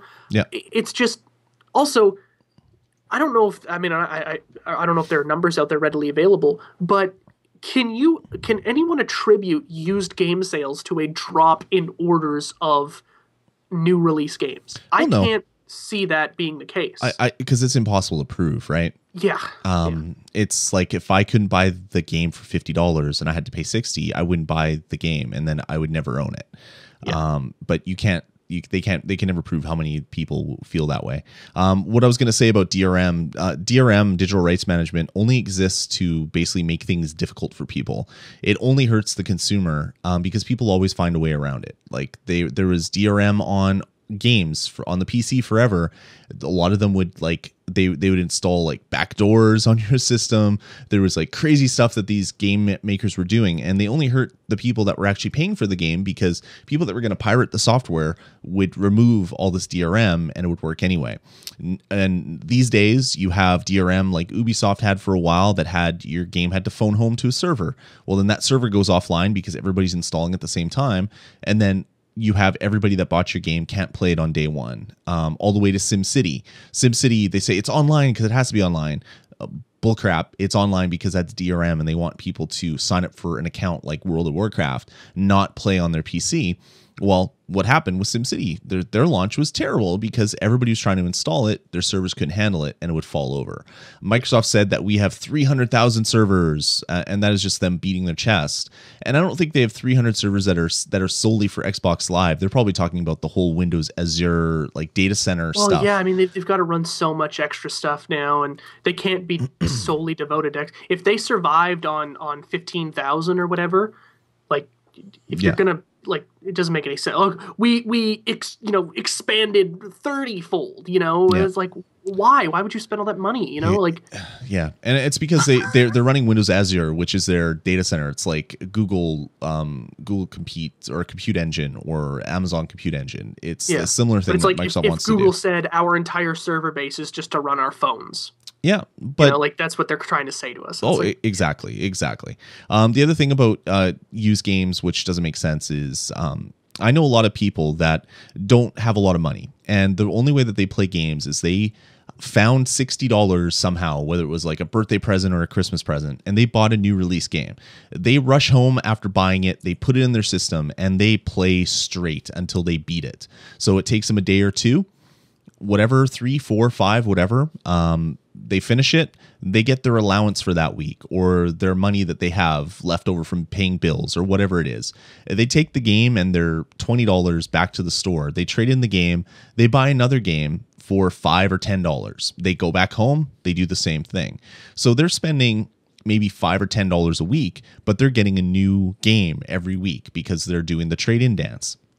Now if if if this used game thing is really what it seems to be they're going to be buying a heck of a lot less games because it's going to be a lot more expensive and they're going to get less money for the trade-ins and the and the trade-in um, or buying the used games are going to be almost as expensive as buying a new game. So it goes from them being able to play two or two to four games a month to maybe two to four games a year because they're going to have to be saving a lot more money before they get in there and pay for new games. And that's without the price of the consoles games going up in this new generation. Every generation console games have kind of gone up about $10. If this one goes up another $10, I mean, they're going to need to save more money to, to do this this trade dance and it's going to be even harder because of the less money they're going to get for trade in value and all that stuff like that. So yeah has, is has it been said i don't know if it's been said um, that that on the on the trade-in games are They haven't said anything. gonna, they haven't said anything they so i don't know said anything at all. They just I- said that we're planning this and we'll give you details when we can. i would be a little bit more okay with it if i knew that some of that money was going to be kicked back to the developer And But that's it's all what's going happening. into microsoft's no, pocket they're splitting stuff. they're splitting the money with the developers and All right. Microsoft. I, i'm still pissed off i think it's still stupid but it doesn't hurt as much you're like okay so the at least the people who made the know. game are getting the share See, and excuse me, I've never been a believer about that whole well, game developers are getting screwed out of the They're used, not, used game not. market. It's like, well, no, you sold the game. It's like if I go to a used bookshop and I buy a book, should the original author get the money from that sale? Or if I go buy a used movie, if I buy used CDs, if I buy old vinyl, like Yeah. I, I'm buying something that someone already bought. And I sure it's uh I, I- think you would have a hard time proving to anyone, and I, I think actually it's been written about quite often that that developers, like the guys who are there coding and stuff, they're paid based on their performance. So they're paid based on okay, this is how good you are, so you get like an hourly wage or salary or whatever it is, and then if the game does well, you get a bonus. But after that, you know, if the game's sold, if you buy a new copy of that game three years down the line, it's not like eight cents that goes to a developer who sat at a computer. It goes to No, the publishing. It goes to the publisher, and that's why publishers are in bed with the the, the game manu- or the game system Yeah. manufacturers because they want this in. They want more money. Yeah. Um, So that, that argument about oh the developers getting screwed is horseshit. and and and there's arguments. It's like, well, um, most games are sold used that are that are sold today, and it's really hurting our industry. Well, that's happening in our industry because games are sixty dollars, and a DVD that you buy in the store is twenty dollars. So if I could buy three movies. Uh, three pieces of entertainment for every one piece of gaming entertainment I buy, I'm probably less likely to want to go buy used DVDs and more likely to want to go buy used games because they're more expensive. So they're saying that the prices are high because of the used game market. Well, the used game market is there because the prices are so high. It's like what came first, chicken or the egg? And I, I mean, the, uh, the iOS has shown that people are willing to pay money for games and not worry about trading them in if they're cheap enough. People will drop 99 cents, they'll drop $2, they'll drop $5, $10 on a game and play it, enjoy it, and then go on to the next one because it's cheap enough. It's like buying music. It's like buying a movie rental. Um, but when games start to get six to be to become sixty dollars or even forty dollars on a handheld, it's like crap. I got to really think about this purchase. I can't impulse Yeah. buy a game. Yeah, and it, it you know it, it- makes us feel like we've got burned more when you spend sixty five dollars and the game doesn't meet your expectations. Or Now, a lot three of weeks later, is- the game drops by twenty dollars. oh, that's the worst. I mean, you're like, damn it, you know, like you're being punished for being an early adopter. Yeah. which I think is kind of how it's always been. But So- still, I mean, it's not fair. No, Not that any of this should be fair, by the way. I mean, gamers, right? You know, we are we're always trying to flex our muscles. We're like, we got all the power. Just stop buying the games. It's not going to change. there, I don't think I really, and, and this is being me being very cynical, by the way, but um, uh, I don't think there's going to be ever a situation where gamers will stop buying games as a form of protest because we don't want to stop buying games. It's the thing we like to do, and we'll pay if the games are 120 bucks. We'll find a way to pay. That's how it's going to happen. I bought Street Fighter Two on my Super Nintendo, and it was eighty dollars for the game. Um, people that bought Great game though. it was a great game at the time for sure. People that bought um, Final Fantasy or Final yeah Final Fantasy two or three on the Super Nintendo, they paid ninety dollars for those cartridges, and they were happy to do it. Um, we will pay more if we have to, but more people will buy more games if they're cheaper because not Yeah. everybody is the hardcore gamer. Like who was buying fun like Square Enix RPGs way back in the day? Oh, I thought you meant today. Uh, no, it, it- like people that were hardcore into gaming, people that love those games. It wasn't like, oh, what's this Final Fantasy two thing? It's ninety dollars. I should go check it out. I mean, it was people that knew about the game. Um, nowadays on the iPad, um, people are buying Poker Night two on the iPad because it's five bucks. It's like, oh yeah, I like poker. I like these characters. Yeah, I'll check it out yeah. and play it. Um, the price of games has to come down for this whole used game thing to really go away. Um, I don't think they will. and that's not going to go happen. up. And basically, another thing that this use the the lack of used games uh, has done is I can go to PNP Games. I can buy Chip 'n Dale Rescue Rangers for the NES. I can buy um, Super Mario Sunshine for the GameCube. I can go buy a game from Xbox 360 that I like, or a game from the original Xbox, and I could buy it. I could put it in my system, and I could play it. Xbox One, that is impossible because I'll go to a used game store and I will buy a disc and then I will have to activate it. Oh, It might not be properly deactivated, so I might have to pay a, a fee on top of already buying this game used. It just adds a whole bunch more confusion into the system, and it and it probably makes it impossible for a lot of people to buy used games five five years down the line. It's like, oh, what's this Xbox One? I, I'm just getting into gaming. I heard that there's all these good games. I'm going to go buy them at a used game store because Yeah. they won't be there because these won't, stores won't be around if this is the crap that's happening with all the consoles. So Yeah, I, I really hope Sony is smart. I, I really hope Sony is smart and doesn't do this. Well, I mean, uh, here's the thing. Uh, if Sony came out tomorrow and said used games, not a big deal, anything you want, no, no, no fee, none of that kind of shit, they're not going to get everybody from Xbox. They're going to get a lot of people. There are going to still be people who are going to go out and buy the Xbox One day one. You know, the the the real fanboys of the system and, and stuff like that. Um, but yeah, you know, uh, one of the things I loved about used games going to P- P&P or whatever it is, I can walk in there and it's like, damn it, you know what? I really want to play a launch title from the 360, and I can go back and do that. You know, Yeah. like because Yeah, there's want so go play. many out I want to go play Perfect Dark. yes, You exactly. do that. You won't be able to do that on the Xbox One um, because you- you don't know what you'll be getting. You don't don't know. I I I can't even predict if there's going to be used games in a game store because who knows what Microsoft's terms are going to be for used games. It might make it harder for game stores to carry used games for Xbox One, so they just won't do it. Yeah, I mean, maybe, maybe GameStop will be entirely digital. and You'll download a GameStop app on your Xbox and have Yeah. a credit card thing. I mean, like How- that might be how it works. Oh, it's scary, man. Anyway, okay, so we we railed on used games for about a half hour. Yeah. Um, let's talk about some other things. Um, uh, no, the, the the whole always online, not online garbage. Um, we got a little bit of clarification. I've already talked a little bit about it. Is um, they've come out and said that this is not an always online system, but you need a network to play your games. What? So what this means is that you have to activate your games. So we, we said that there's an activation thing every 24 hours. So what this means is that if you're someone that lives in the middle of nowhere that doesn't have an internet connection, you can't go to a store, buy an Xbox One, buy a stack of games, and then go and play it because you need the internet to play it. You can't take um, your Xbox One to your cabin and play it in your cabin unless you have an internet access somehow in your cabin because there's the phone home thing. So this is probably the first console that fully requires the internet to play. Um, so you, if you don't have an internet access in your house, you cannot play games.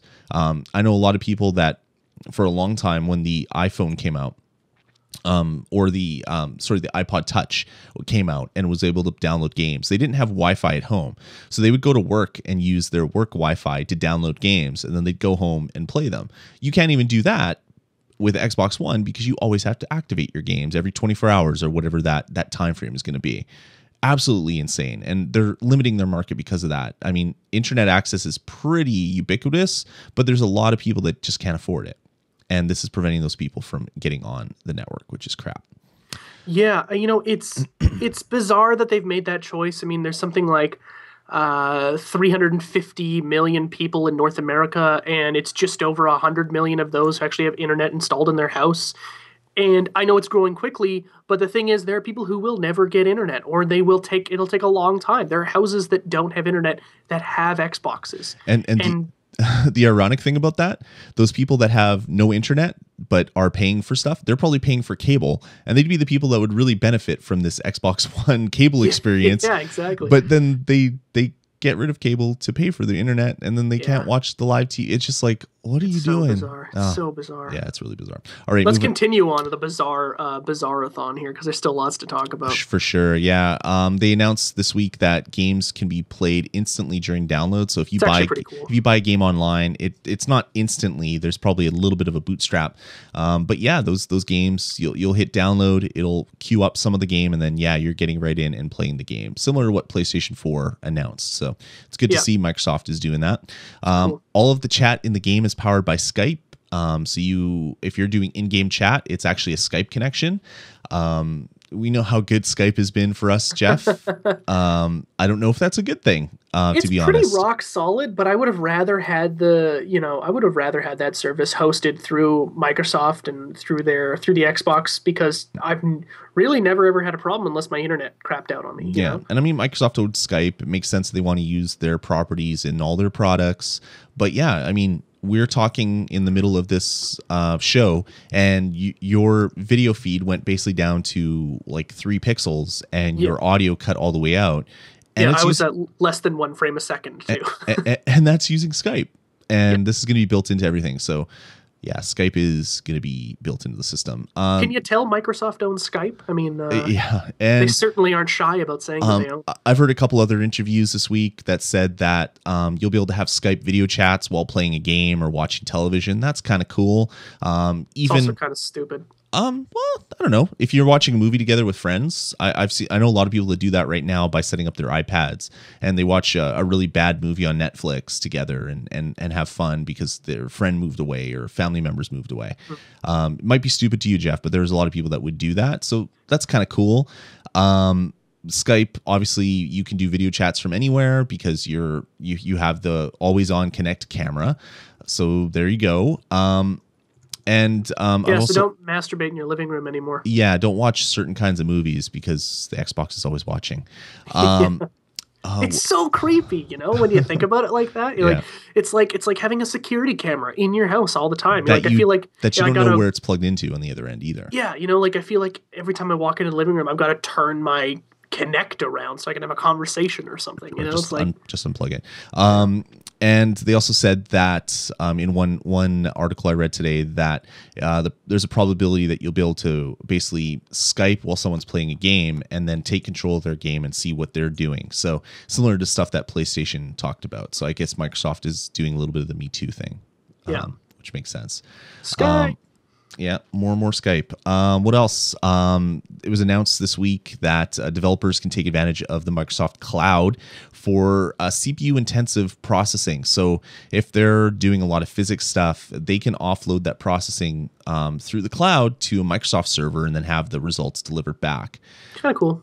Kind of cool, but that's going to add a lot of latency for things. So it's going to be it's not going to be done for like a lot of stuff. Mm-hmm. Um, it's going to probably be done for like maybe setting up levels and things. Um, and Yeah, and improving and then- loading times, I guess maybe, or Um, uh, pre-buffering uh, open world games. I don't think so because that type No? of stuff uh, it's loading from your your internal hard drive. It already knows That's where that true. stuff is.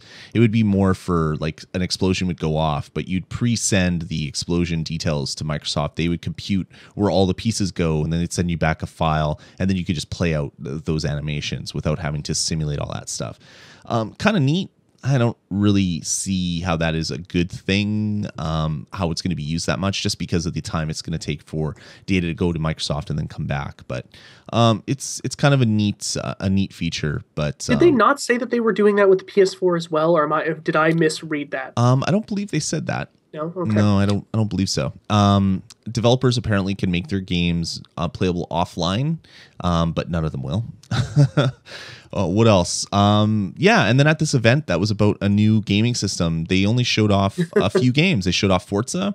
They showed off a, a sizzle reel. I don't even think it was in game. Uh, no, it wasn't. It was all cinematic, which is oh, like really, I guess it was in game cinematics, but it wasn't actual gameplay. Oh, and it was actually pre-rendered. Um, I thought they said this is in the in-game engine when they I did the think- Forza stuff. I think what they what they said was it's it's the game engine making a pre-rendered cinematic. So like they use the resources. But like he- he- here's the thing about I mean Forza it's great. Yeah, I, I, I love the series. When you racing games are one of the greatest ways to show off your hardware. And to not show us gameplay, I was like, fuck man, that's so stupid, you know? Like you can't show us any you show us like the close up of a tire for like 8 seconds. Spinning and Yeah. smoking. And it's like Um, this is you know they, they go around like one corner and then a guy you know uses the draft of the other car to to get in front and win the race and I was like it was kind of exciting but I don't care you know like I want to see gameplay you know hmm exactly. Um, EA came on on deck and announced a partnership with blah blah blah. EA exclusive sports, for sports, FIFA sports, I think is what they're what they're saying that Yeah, FIFA like might that. now be Xbox only Yeah, they should. They they said that, which I find really unlikely because PlayStation is huge in Europe, where FIFA is huge. Yeah. If that is really the case, I'd be super surprised. But well, Yeah. we'll see what happens. Um, they also showed off a sizzle reel of live video and pre-rendered stuff um, that showed Xbox, um, Madden, and NBA. And it's like, okay, well, they announced some games, kind of maybe. Um, and then yeah they, sh- they showed like I mean stuff that was probably made by an animator you know yeah, well, like, th- that was not in game. They didn't say that any of the EA stuff was in game at all. Where where they did say, excuse me, that the Forza stuff was rendered with the in-game engine, but it might have just been maybe recorded and uh, Yeah. made a sizzle reel out of it. Uh, and then they showed off right at the end uh, Caller Duty, which is the Call, Yeah. Call of Duty Ghost, and the big reveal is like, oh my god, you have a dog with you. the reveal is they showed nothing I mean Yeah. they They the- the showed a very choppy- cool yeah, but they showed a very choppy video. It's like this is all rendered in engine, and you're the first to experience it.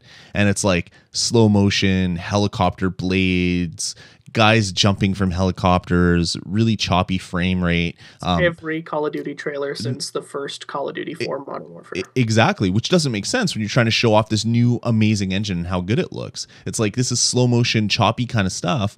It's like, well, why wouldn't you show like something live that is just like, oh my god, I can't believe this is actually running on hardware. It's funny because the stuff that they showed that's like really uh, you know spectacular about the engine, you know, they're like they showed the faces and stuff like that. Yep. That's the same shit they showed at GDC. Yeah, The same stuff. So it's like the reveal was bullshit, you know. Oh, there's a dog. Who gives a fuck? The dog's gonna die in the game. That's absolutely certain. I mean, you Wow. can't. They're gonna make you feel bad about the dog, and you know, oh, there was a there was a flood in one level, and there's some logs that'll come down and kill you in a trap in multiplayer. They showed really nothing. It was stupid. Nothing about the story. You know, it was some stuff collapsing. It's you know just guns and fighting. Again, I'm gonna buy it, but still, it was dumb. It was, you know, they they pumped this thing up to be uh, like, oh, it's gonna be the event. It's gonna, you know, and it's right at the end, you know, so everybody's waiting for it, and it was bullshit. You know, it's like, this is the best you got. wow, you're Yeah. swearing a lot in this episode, Jeff. You must be really angry. It's just it's just I mean it was really a waste of time. This entire thing was a waste of time. Yeah. Uh, It- not the show, it but did- I mean watching the event. it, it didn't show games which is what gamers were watching this event for if they Yeah. if they announced it if this was like look at our general public uh, everybody would want it in their living room device they should have announced that this thing was happening on like the today show or ellen and then shown it there but no they announced this on all the gaming websites like coming and um yeah that that wasn't it so anyway i was totally unimpressed with um with this thing um, PS4 did it better. PS4, did it definitely did it better. Um, a lot of people were really uh, upset about it as well. Um, the whole used game stuff um, really hurt GameStop. Their shares fell 17.2% since the Xbox One announcement. That's insane. Yeah, they were at um, Get out now if you they, have it. they were at thirty-eight uh, dollars and seventy-six cents um, just before the Xbox event, and they are now at twenty-five fifty. God. or no wait sorry. No they're now that's that's wrong. That's what they were in february. So they had actually rebounded a lot. Um, Okay. on monday june 4th uh, what? That doesn't make sense. Uh, that's way oh that's that's during e3 well what are they right now? They are they're 3211 so they're down 17% from before E3, the the Xbox One reveal. So Oh, okay. So they've been they've been going down since then. Yeah. Um, well, Um, yeah, since it's like they dropped, like I was watching real time, and they were at twenty eight dollars, so they rebounded a little bit from there. But yeah, they're down from thirty nine dollars essentially down to thirty two dollars since the reveal. So that's seven dollars on thirty nine dollars. That's a, a pretty big percentage. Yeah. seventeen point two percent, almost twenty percent they lost That's of the nuts. value of their market, um, just because of this this launch and and the uncertainty of used games, which is what Mm-hmm. where GameStop makes all their money. So Corky Dog asked a really good question in the chat room that I kind of want to ask you. Uh, he said, uh, "What is really the difference between Microsoft, the Xbox One, PS4, and a PC?"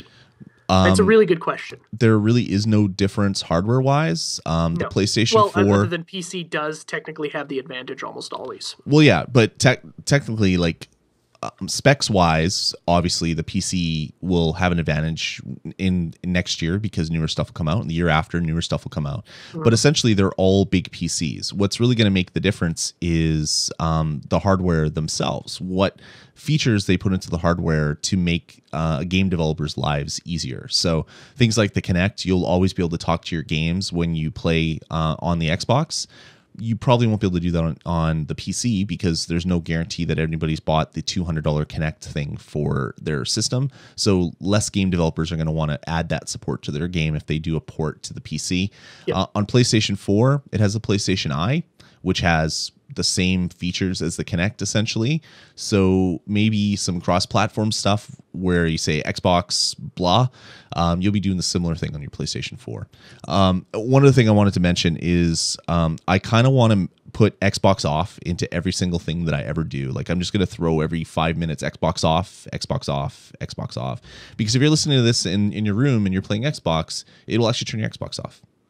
there yeah, was exactly right. Yeah, there on, was- on the uh, I read a great article where someone was watching the stream in their living room on their Xbox, and when um, the pres- presenter in the presentation would say Xbox on or Xbox go home, their Xbox would try to do something and would get really confused, and the stream kept stopping because it was being confused by all the Xbox commands that were in the thing.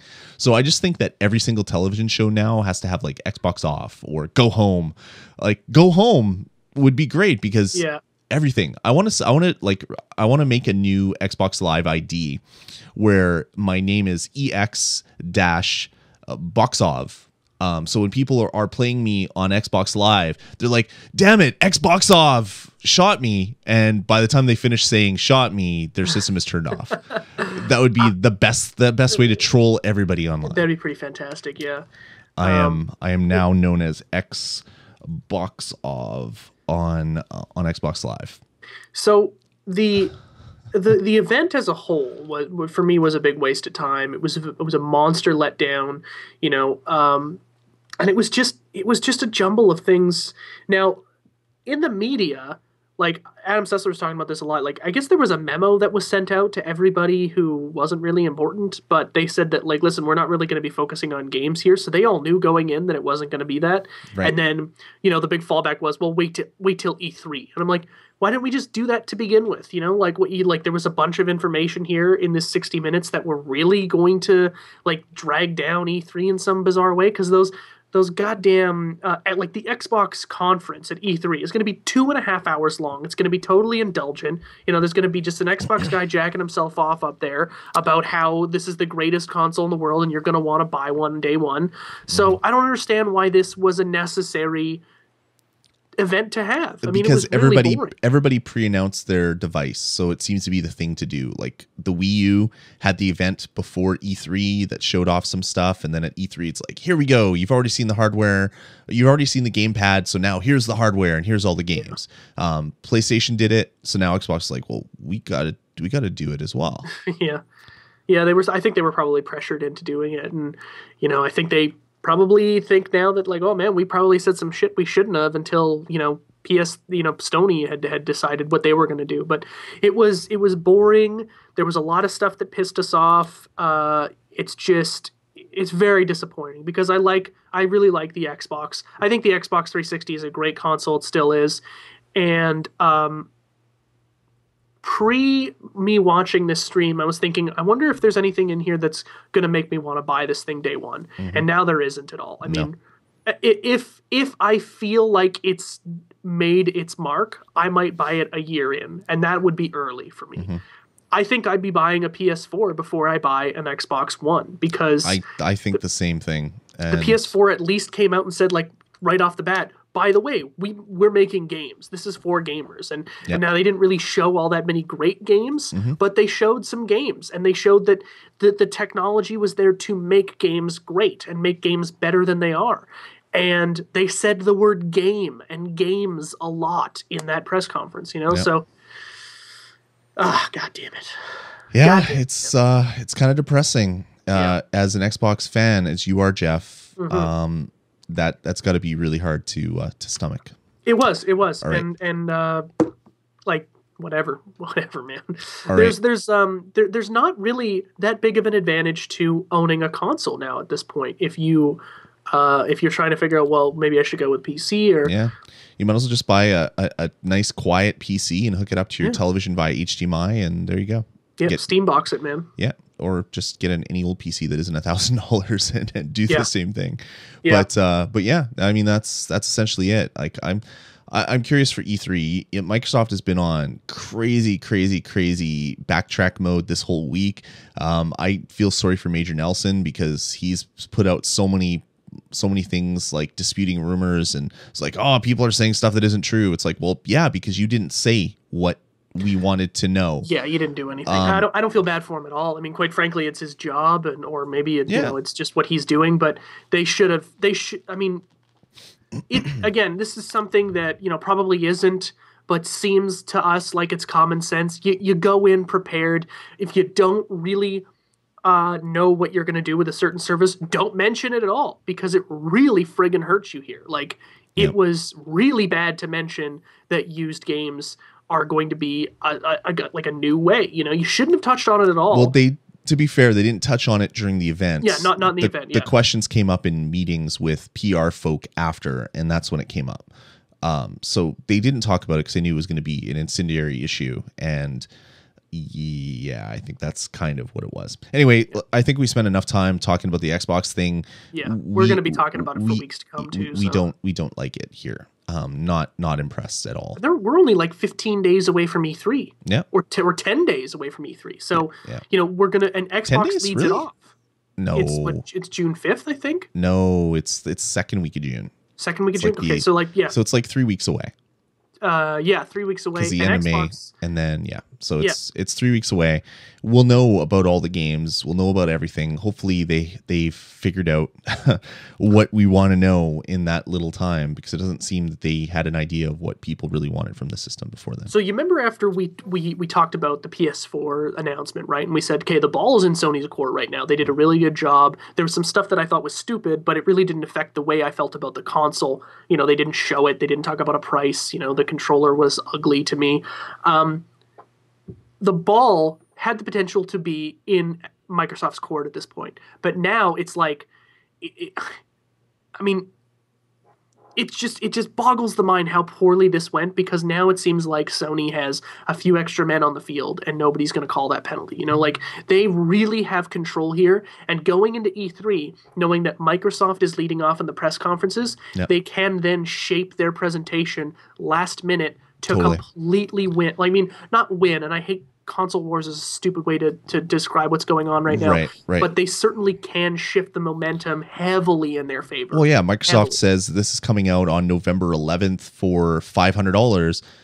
Well, the next day, Sony can say, well, this is coming out November 2nd and it's only going to be $300. Yeah, and like boom, done. And done. then Mike and then Nintendo can say, we're already out and we're dropping the price to 199. Suck it. And we'll, we'll pay do you it. to take one off our hands. I don't think they're in that that place. No, no. It's funny because um, in um, Amazon UK with the after the Xbox announcement, Wii U sales went like crazy. They they raised by 220 percent on Amazon because enough people said, "Well, I'm waiting for the Xbox." They saw what it was. It's like, well, screw the Xbox. I'm getting the Wii U. I'm getting a, something that I can actually play games on, um, which was I don't know, really kind of funny to me. All right, moving on. Let's get past this whole Xbox thing. We've been talking too long. I know you want to keep going, Jeff. No, but- that's okay. but Do you, do you want to just go into the into the question period? no, no, I want to talk you wanna- about these things. yeah? That's Okay. why I, I deleted some stuff already, but we're going to talk about this. Um, One of the first big games uh, that has already been pre-announced um, that's going to be shown off at E3 is the new game from the makers of Dead Island. Uh, they're calling it Dying Light, and it is a first-person, free-running zombie game, um, which is just absolutely crazy. It's like it, it- it's like Mirror's Edge, where you are getting attacked by zombies and you have to outrun them or kill them. Um, I love Mirror's Edge. it it looks so good. I, I'm gonna post a link to the story, obviously, in the show notes. You gotta go check. Sorry, you gotta you gotta go check out the screenshots because it, Yeah. it they look they look just stupid. Um, Yeah, this and- obviously and- is running on next gen hardware. It looks really really pretty. It looks really friggin' cool. Uh, It's uh, what it's slated for a release on 2014, um, but it yeah, it looks damn cool. I mean, they've just in the screenshots alone, and I know that those things are usually doctored a little bit to make them look better, but uh, there's a lot of fidelity here in the way that the visuals look. I mean, just from just the few screenshots you get alone, you Yep. get fantastic depth of field, some great detail. I mean, some really interesting lighting effects. And it looks like also a really fun environment to run around in. You know, like buildings and and and and uh, you know there always has to be like some sort of scaffolding set up. And and I was a big big fan of Mirror's Edge. I beat that game like six times. Um, I wanted Mirror's Edge 2 for the longest time, so maybe this will be you know kind of a spiritual successor in a way. Sure, exactly. I don't really know if Techland has the pedigree that they should to to maybe pull off a game like this, but I mean, we'll give them a chance. Yeah, well, EA kind of crapped the bed in a lot of for a lot of their franchises as well. And Mirror's Yeah. Edge hasn't gotten a sequel, so I, I No. wouldn't be I wouldn't feel much better if it was EA pr- uh, publishing it as uh, Yeah. either. I did I get I don't think Mirror's Edge did all that well, and I think that's why. Yeah. You know, it sold pretty okay, but Mm-hmm. not great. Yep. All right, moving on. Uh, Grand Theft Auto Five. Um, they announced their collector's editions. Um, the uh, in the U.S. collector's editions will only be available at GameStop, which is pretty stupid. But um, I guess they're getting a big money hat from GameStop. Um, there's going to be two collector's editions. There's the special edition, um, which is going to be available uh, for seventy nine ninety five. I want to say, yeah, 79 $79.99. 79.99.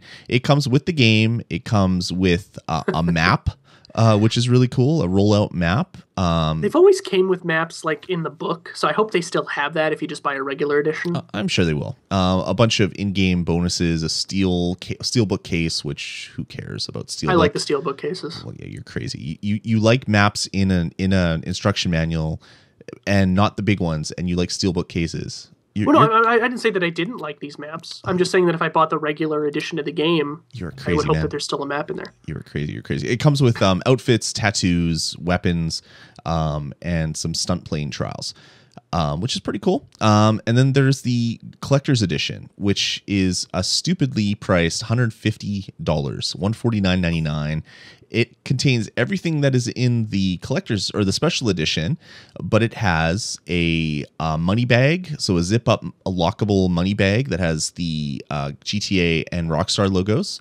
Um, you have the ability to customize your characters um, in the uh, Grand Theft Auto Online.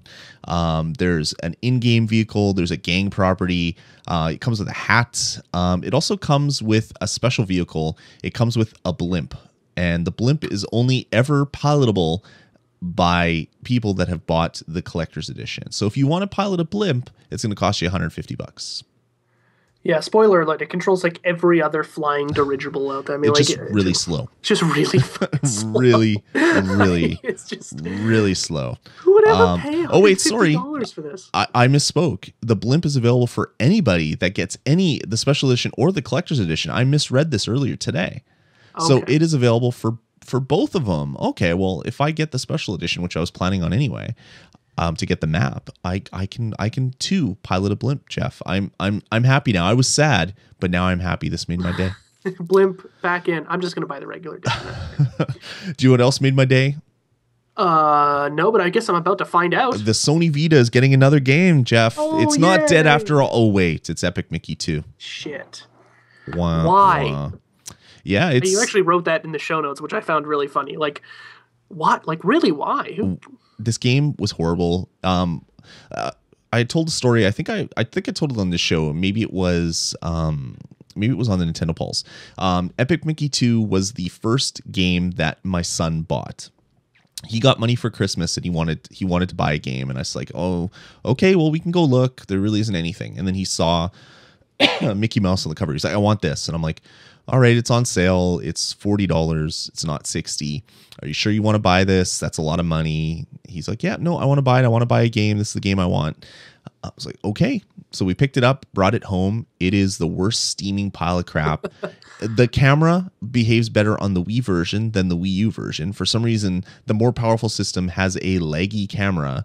Uh, th- the controls were terrible. And now you can experience the hell that is Epic Mickey 2 on your Vita. Um, I don't, why? Why? Why is this coming out? I just let this die. And it's coming out next month too, June 18th. So during E3 or right after E3, this game is coming out. Why? I, I asked don't know. them. I don't know. Why? Uh, you know, it, it's a it's a stupid game. Uh, I think the original was was pretty interesting for what Mhm. it tried to do, but it wasn't a great game. it was terrible, but it was interesting. The Yep. sequel was just horrible. Yep. Uh, it's just they're they're they're they're hurting for games, really. I think is what, and and really, I can't really complain about them putting a new game out just because I don't like it. The fact is, I think they're really trying to get games out, which is good, but it sucks that it's this game, you know. But ah, man, what a what a stupid. It is asinine, is what it is. It is absolutely crazy. So Yeah.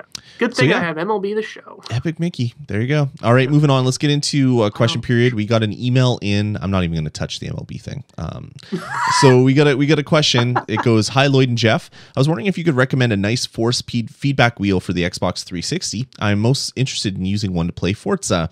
I also uh, would may also try it with Need for Speed Shift. Uh, compatibility with Windows PCs and the PS3 would be a plus. Also, having recently received a PS3 as a gift, I'm wondering if there are good Xbox 360 style controllers that you might recommend for the PS3. I'm having a hard time enjoying the controller for the PlayStation 3, and I really prefer the layout and heft of the Xbox 360 controller. Uh, wired or wireless would be okay. Thanks. Keep up the awesome work. And that's from Tadias.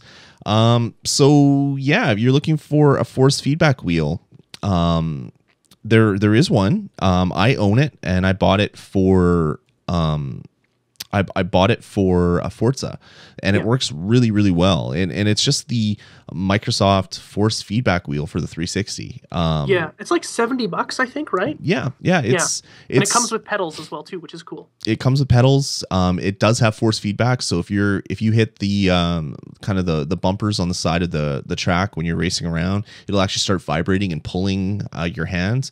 Um, it's it's a lot of fun. I'm I'm just checking it on EB Games. Um, for some reason I can't go there because it keeps wanting to send me to ebgames.ca. So I'll go to Amazon, and yeah, um, wow, they're really expensive on Amazon because I guess they're being sold by someone that's reselling it. They're two hundred. Oh wait, this. Oh, this is different. This is not the one I was looking at. Um, that was the wireless one that from some other company. So yeah, I think they're they're still around not eighty dollars or so, and Yeah. they're they're available. Um, Mad Catz also makes one. Um, that is the more professional one.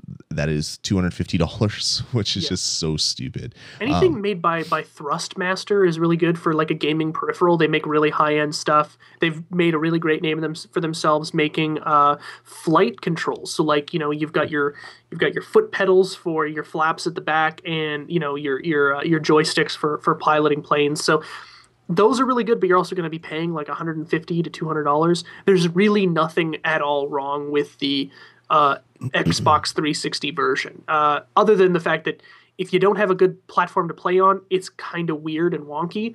But uh, it's certainly it's not a bad piece of hardware. It's it's actually pretty damn good for the price. I don't really think you're he's getting into it to play like you know, you don't want to spend three hundred dollars to play a sixty dollar game. You know, it just seems a little ridiculous unless you're really, really into it. Yeah. Um, but uh, yeah, I think your I think your best choice is the Xbox 360 version uh, Mm-hmm. of the Force feedback wheel. Yeah, it works really well. Um, I take it out every once in a while to play Forza, um, and it, it works really, really good. Mm-hmm. Um, you just need to put a brick or something in front of the pedals so you don't keep pushing them further and further away.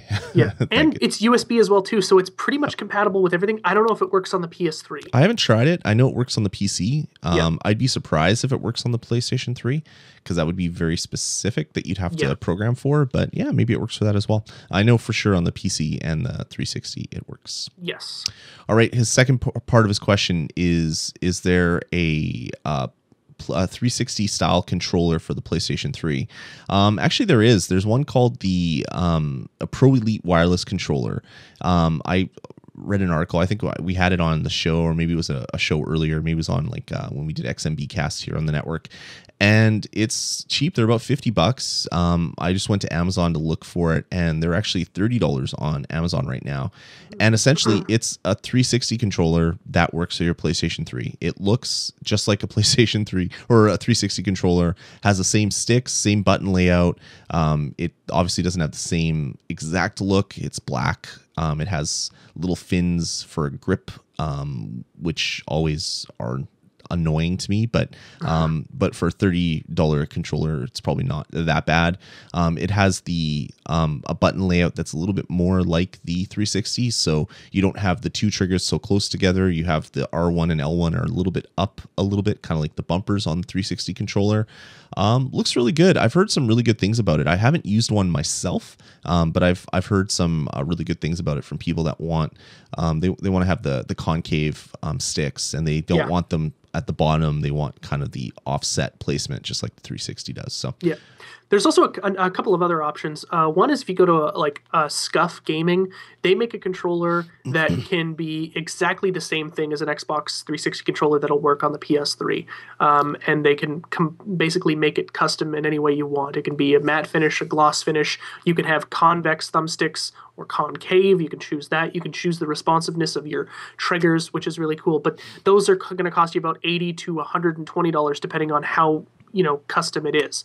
Another option is if you already have a wired Xbox 360 controller, is you can buy an adapter. And HDE sells adapters on Amazon for about sixteen dollars. And all you do is you plug in the adapter. It's USB. It goes into your PS3, and then you plug in your wired Xbox controller into the bottom of the adapter, and it's got all these little switches. So triangle becomes Y, and X become or and square becomes X, and so on and so forth Yeah. and it just basically remaps all the buttons. So if you have a controller for your Xbox already, that's a really good route to go. And uh, I mean, it's super cheap. It's like 16 bucks. You know, it probably costs 20 to get it to your house. Yeah, I, I've heard some really bad things about those adapters. Um, they They're work, a little wonky, yeah. um, where there's latency issues that are um, thrown into it, um, stuck buttons, things like that. So your mileage will will definitely vary. But um, but yeah, there's a lot of things that exist. So uh, troll around the internets and have a peek at the ones that we uh, recommended for you. Awesome. All right. Well, that's going to about do it for episode number 32 of the bonus stage. Uh, thanks, Jeff, for joining me yet again Always good to be here. ranty, ranty, McRantying on the uh, Xbox. That was uh, that was a lot of fun. Well, I mean, man, it's just it's so hard not to get mad at it. You know, it's Mm. just and it's something like I said, we're going to be talking about it for the next week, two weeks, up until the thing launches. We're gonna be you know, and talking it- up for like six months, and even after launch, we're still gonna be bitching Yeah. about it because they're they're really screwing screwing. Well, the thing is, like, they're they're really in a position now where if this console isn't great right out of the box, I mean, they've they've totally lost me as a customer. You know, I mean, it really has to blow my friggin' mind for me to ever want to even try to spend money on it. If PlayStation came out and they were like, "Listen, our console's going to be hundred dollars less than Microsoft," I'd probably buy a PS4 at launch just Mm-hmm. because. Yep. You know, Yeah, exactly. Yeah, it's going to be an interesting time. E3 E- E3 uh, is going to be even more interesting now. which I'm sure when Trevor hears me say that, he is going to love. he's going to fact that I flip get- his crap. He's gonna. It's gonna be on Twitter right away. Oh, Jeff's gonna buy a PS4 at launch. All it's gotta do is. I'm going to hold you to it. I'm going to hold you to it. I can hear it right now. All right. Uh, we want to hear from you guys, just like Tadias. Um, we want to get an email or a voicemail from you. Head on over to vgpodcast.com. Let us know what you think. Click contact us at the top of the page or send us an email directly at vgpodcast at gmail.com. Call our voicemail line at 505 VG Podcasts. We're available for subscription on iTunes. Uh, just go and subscribe. You'll get the podcast delivered to you each and every week. We're also on Stitcher Radio. All of the network shows um, that are on VG Podcast Network, the Touch of Gaming for iOS, Nintendo Pulse for Nintendo, and um, Full on Indie which is a show that we put out every two weeks or so about independent game development. Um, that's all available up in iTunes. So do a search for VG Podcasts or do a search for each of those shows, and you can subscribe to those ones as well. Uh, as I said, you can call our voicemail line, which is area code 505 VG Podcasts. I'm on Twitter at, at DazMe. Jeff is at at Jeff A. Ward. And uh, yeah, that's going to about do it for this week. So for Jeff, um, enjoy your week, guys, and uh, keep thinking about your uh, your Microsoft rants um, and, and, and send them in. We, we'd love to read your Oh Microsoft yeah, I'd love. rants. I'd love to read. that would be the a lot of fun. Yeah, Rant in send an them in email. or call them in. Yeah, and a rant in an email. Send them in, and we will talk about them in in the next episode. That should be pretty pretty epic. That All right, guys, awesome. take it easy. We'll talk to you in a week's time. See ya. Let's get started.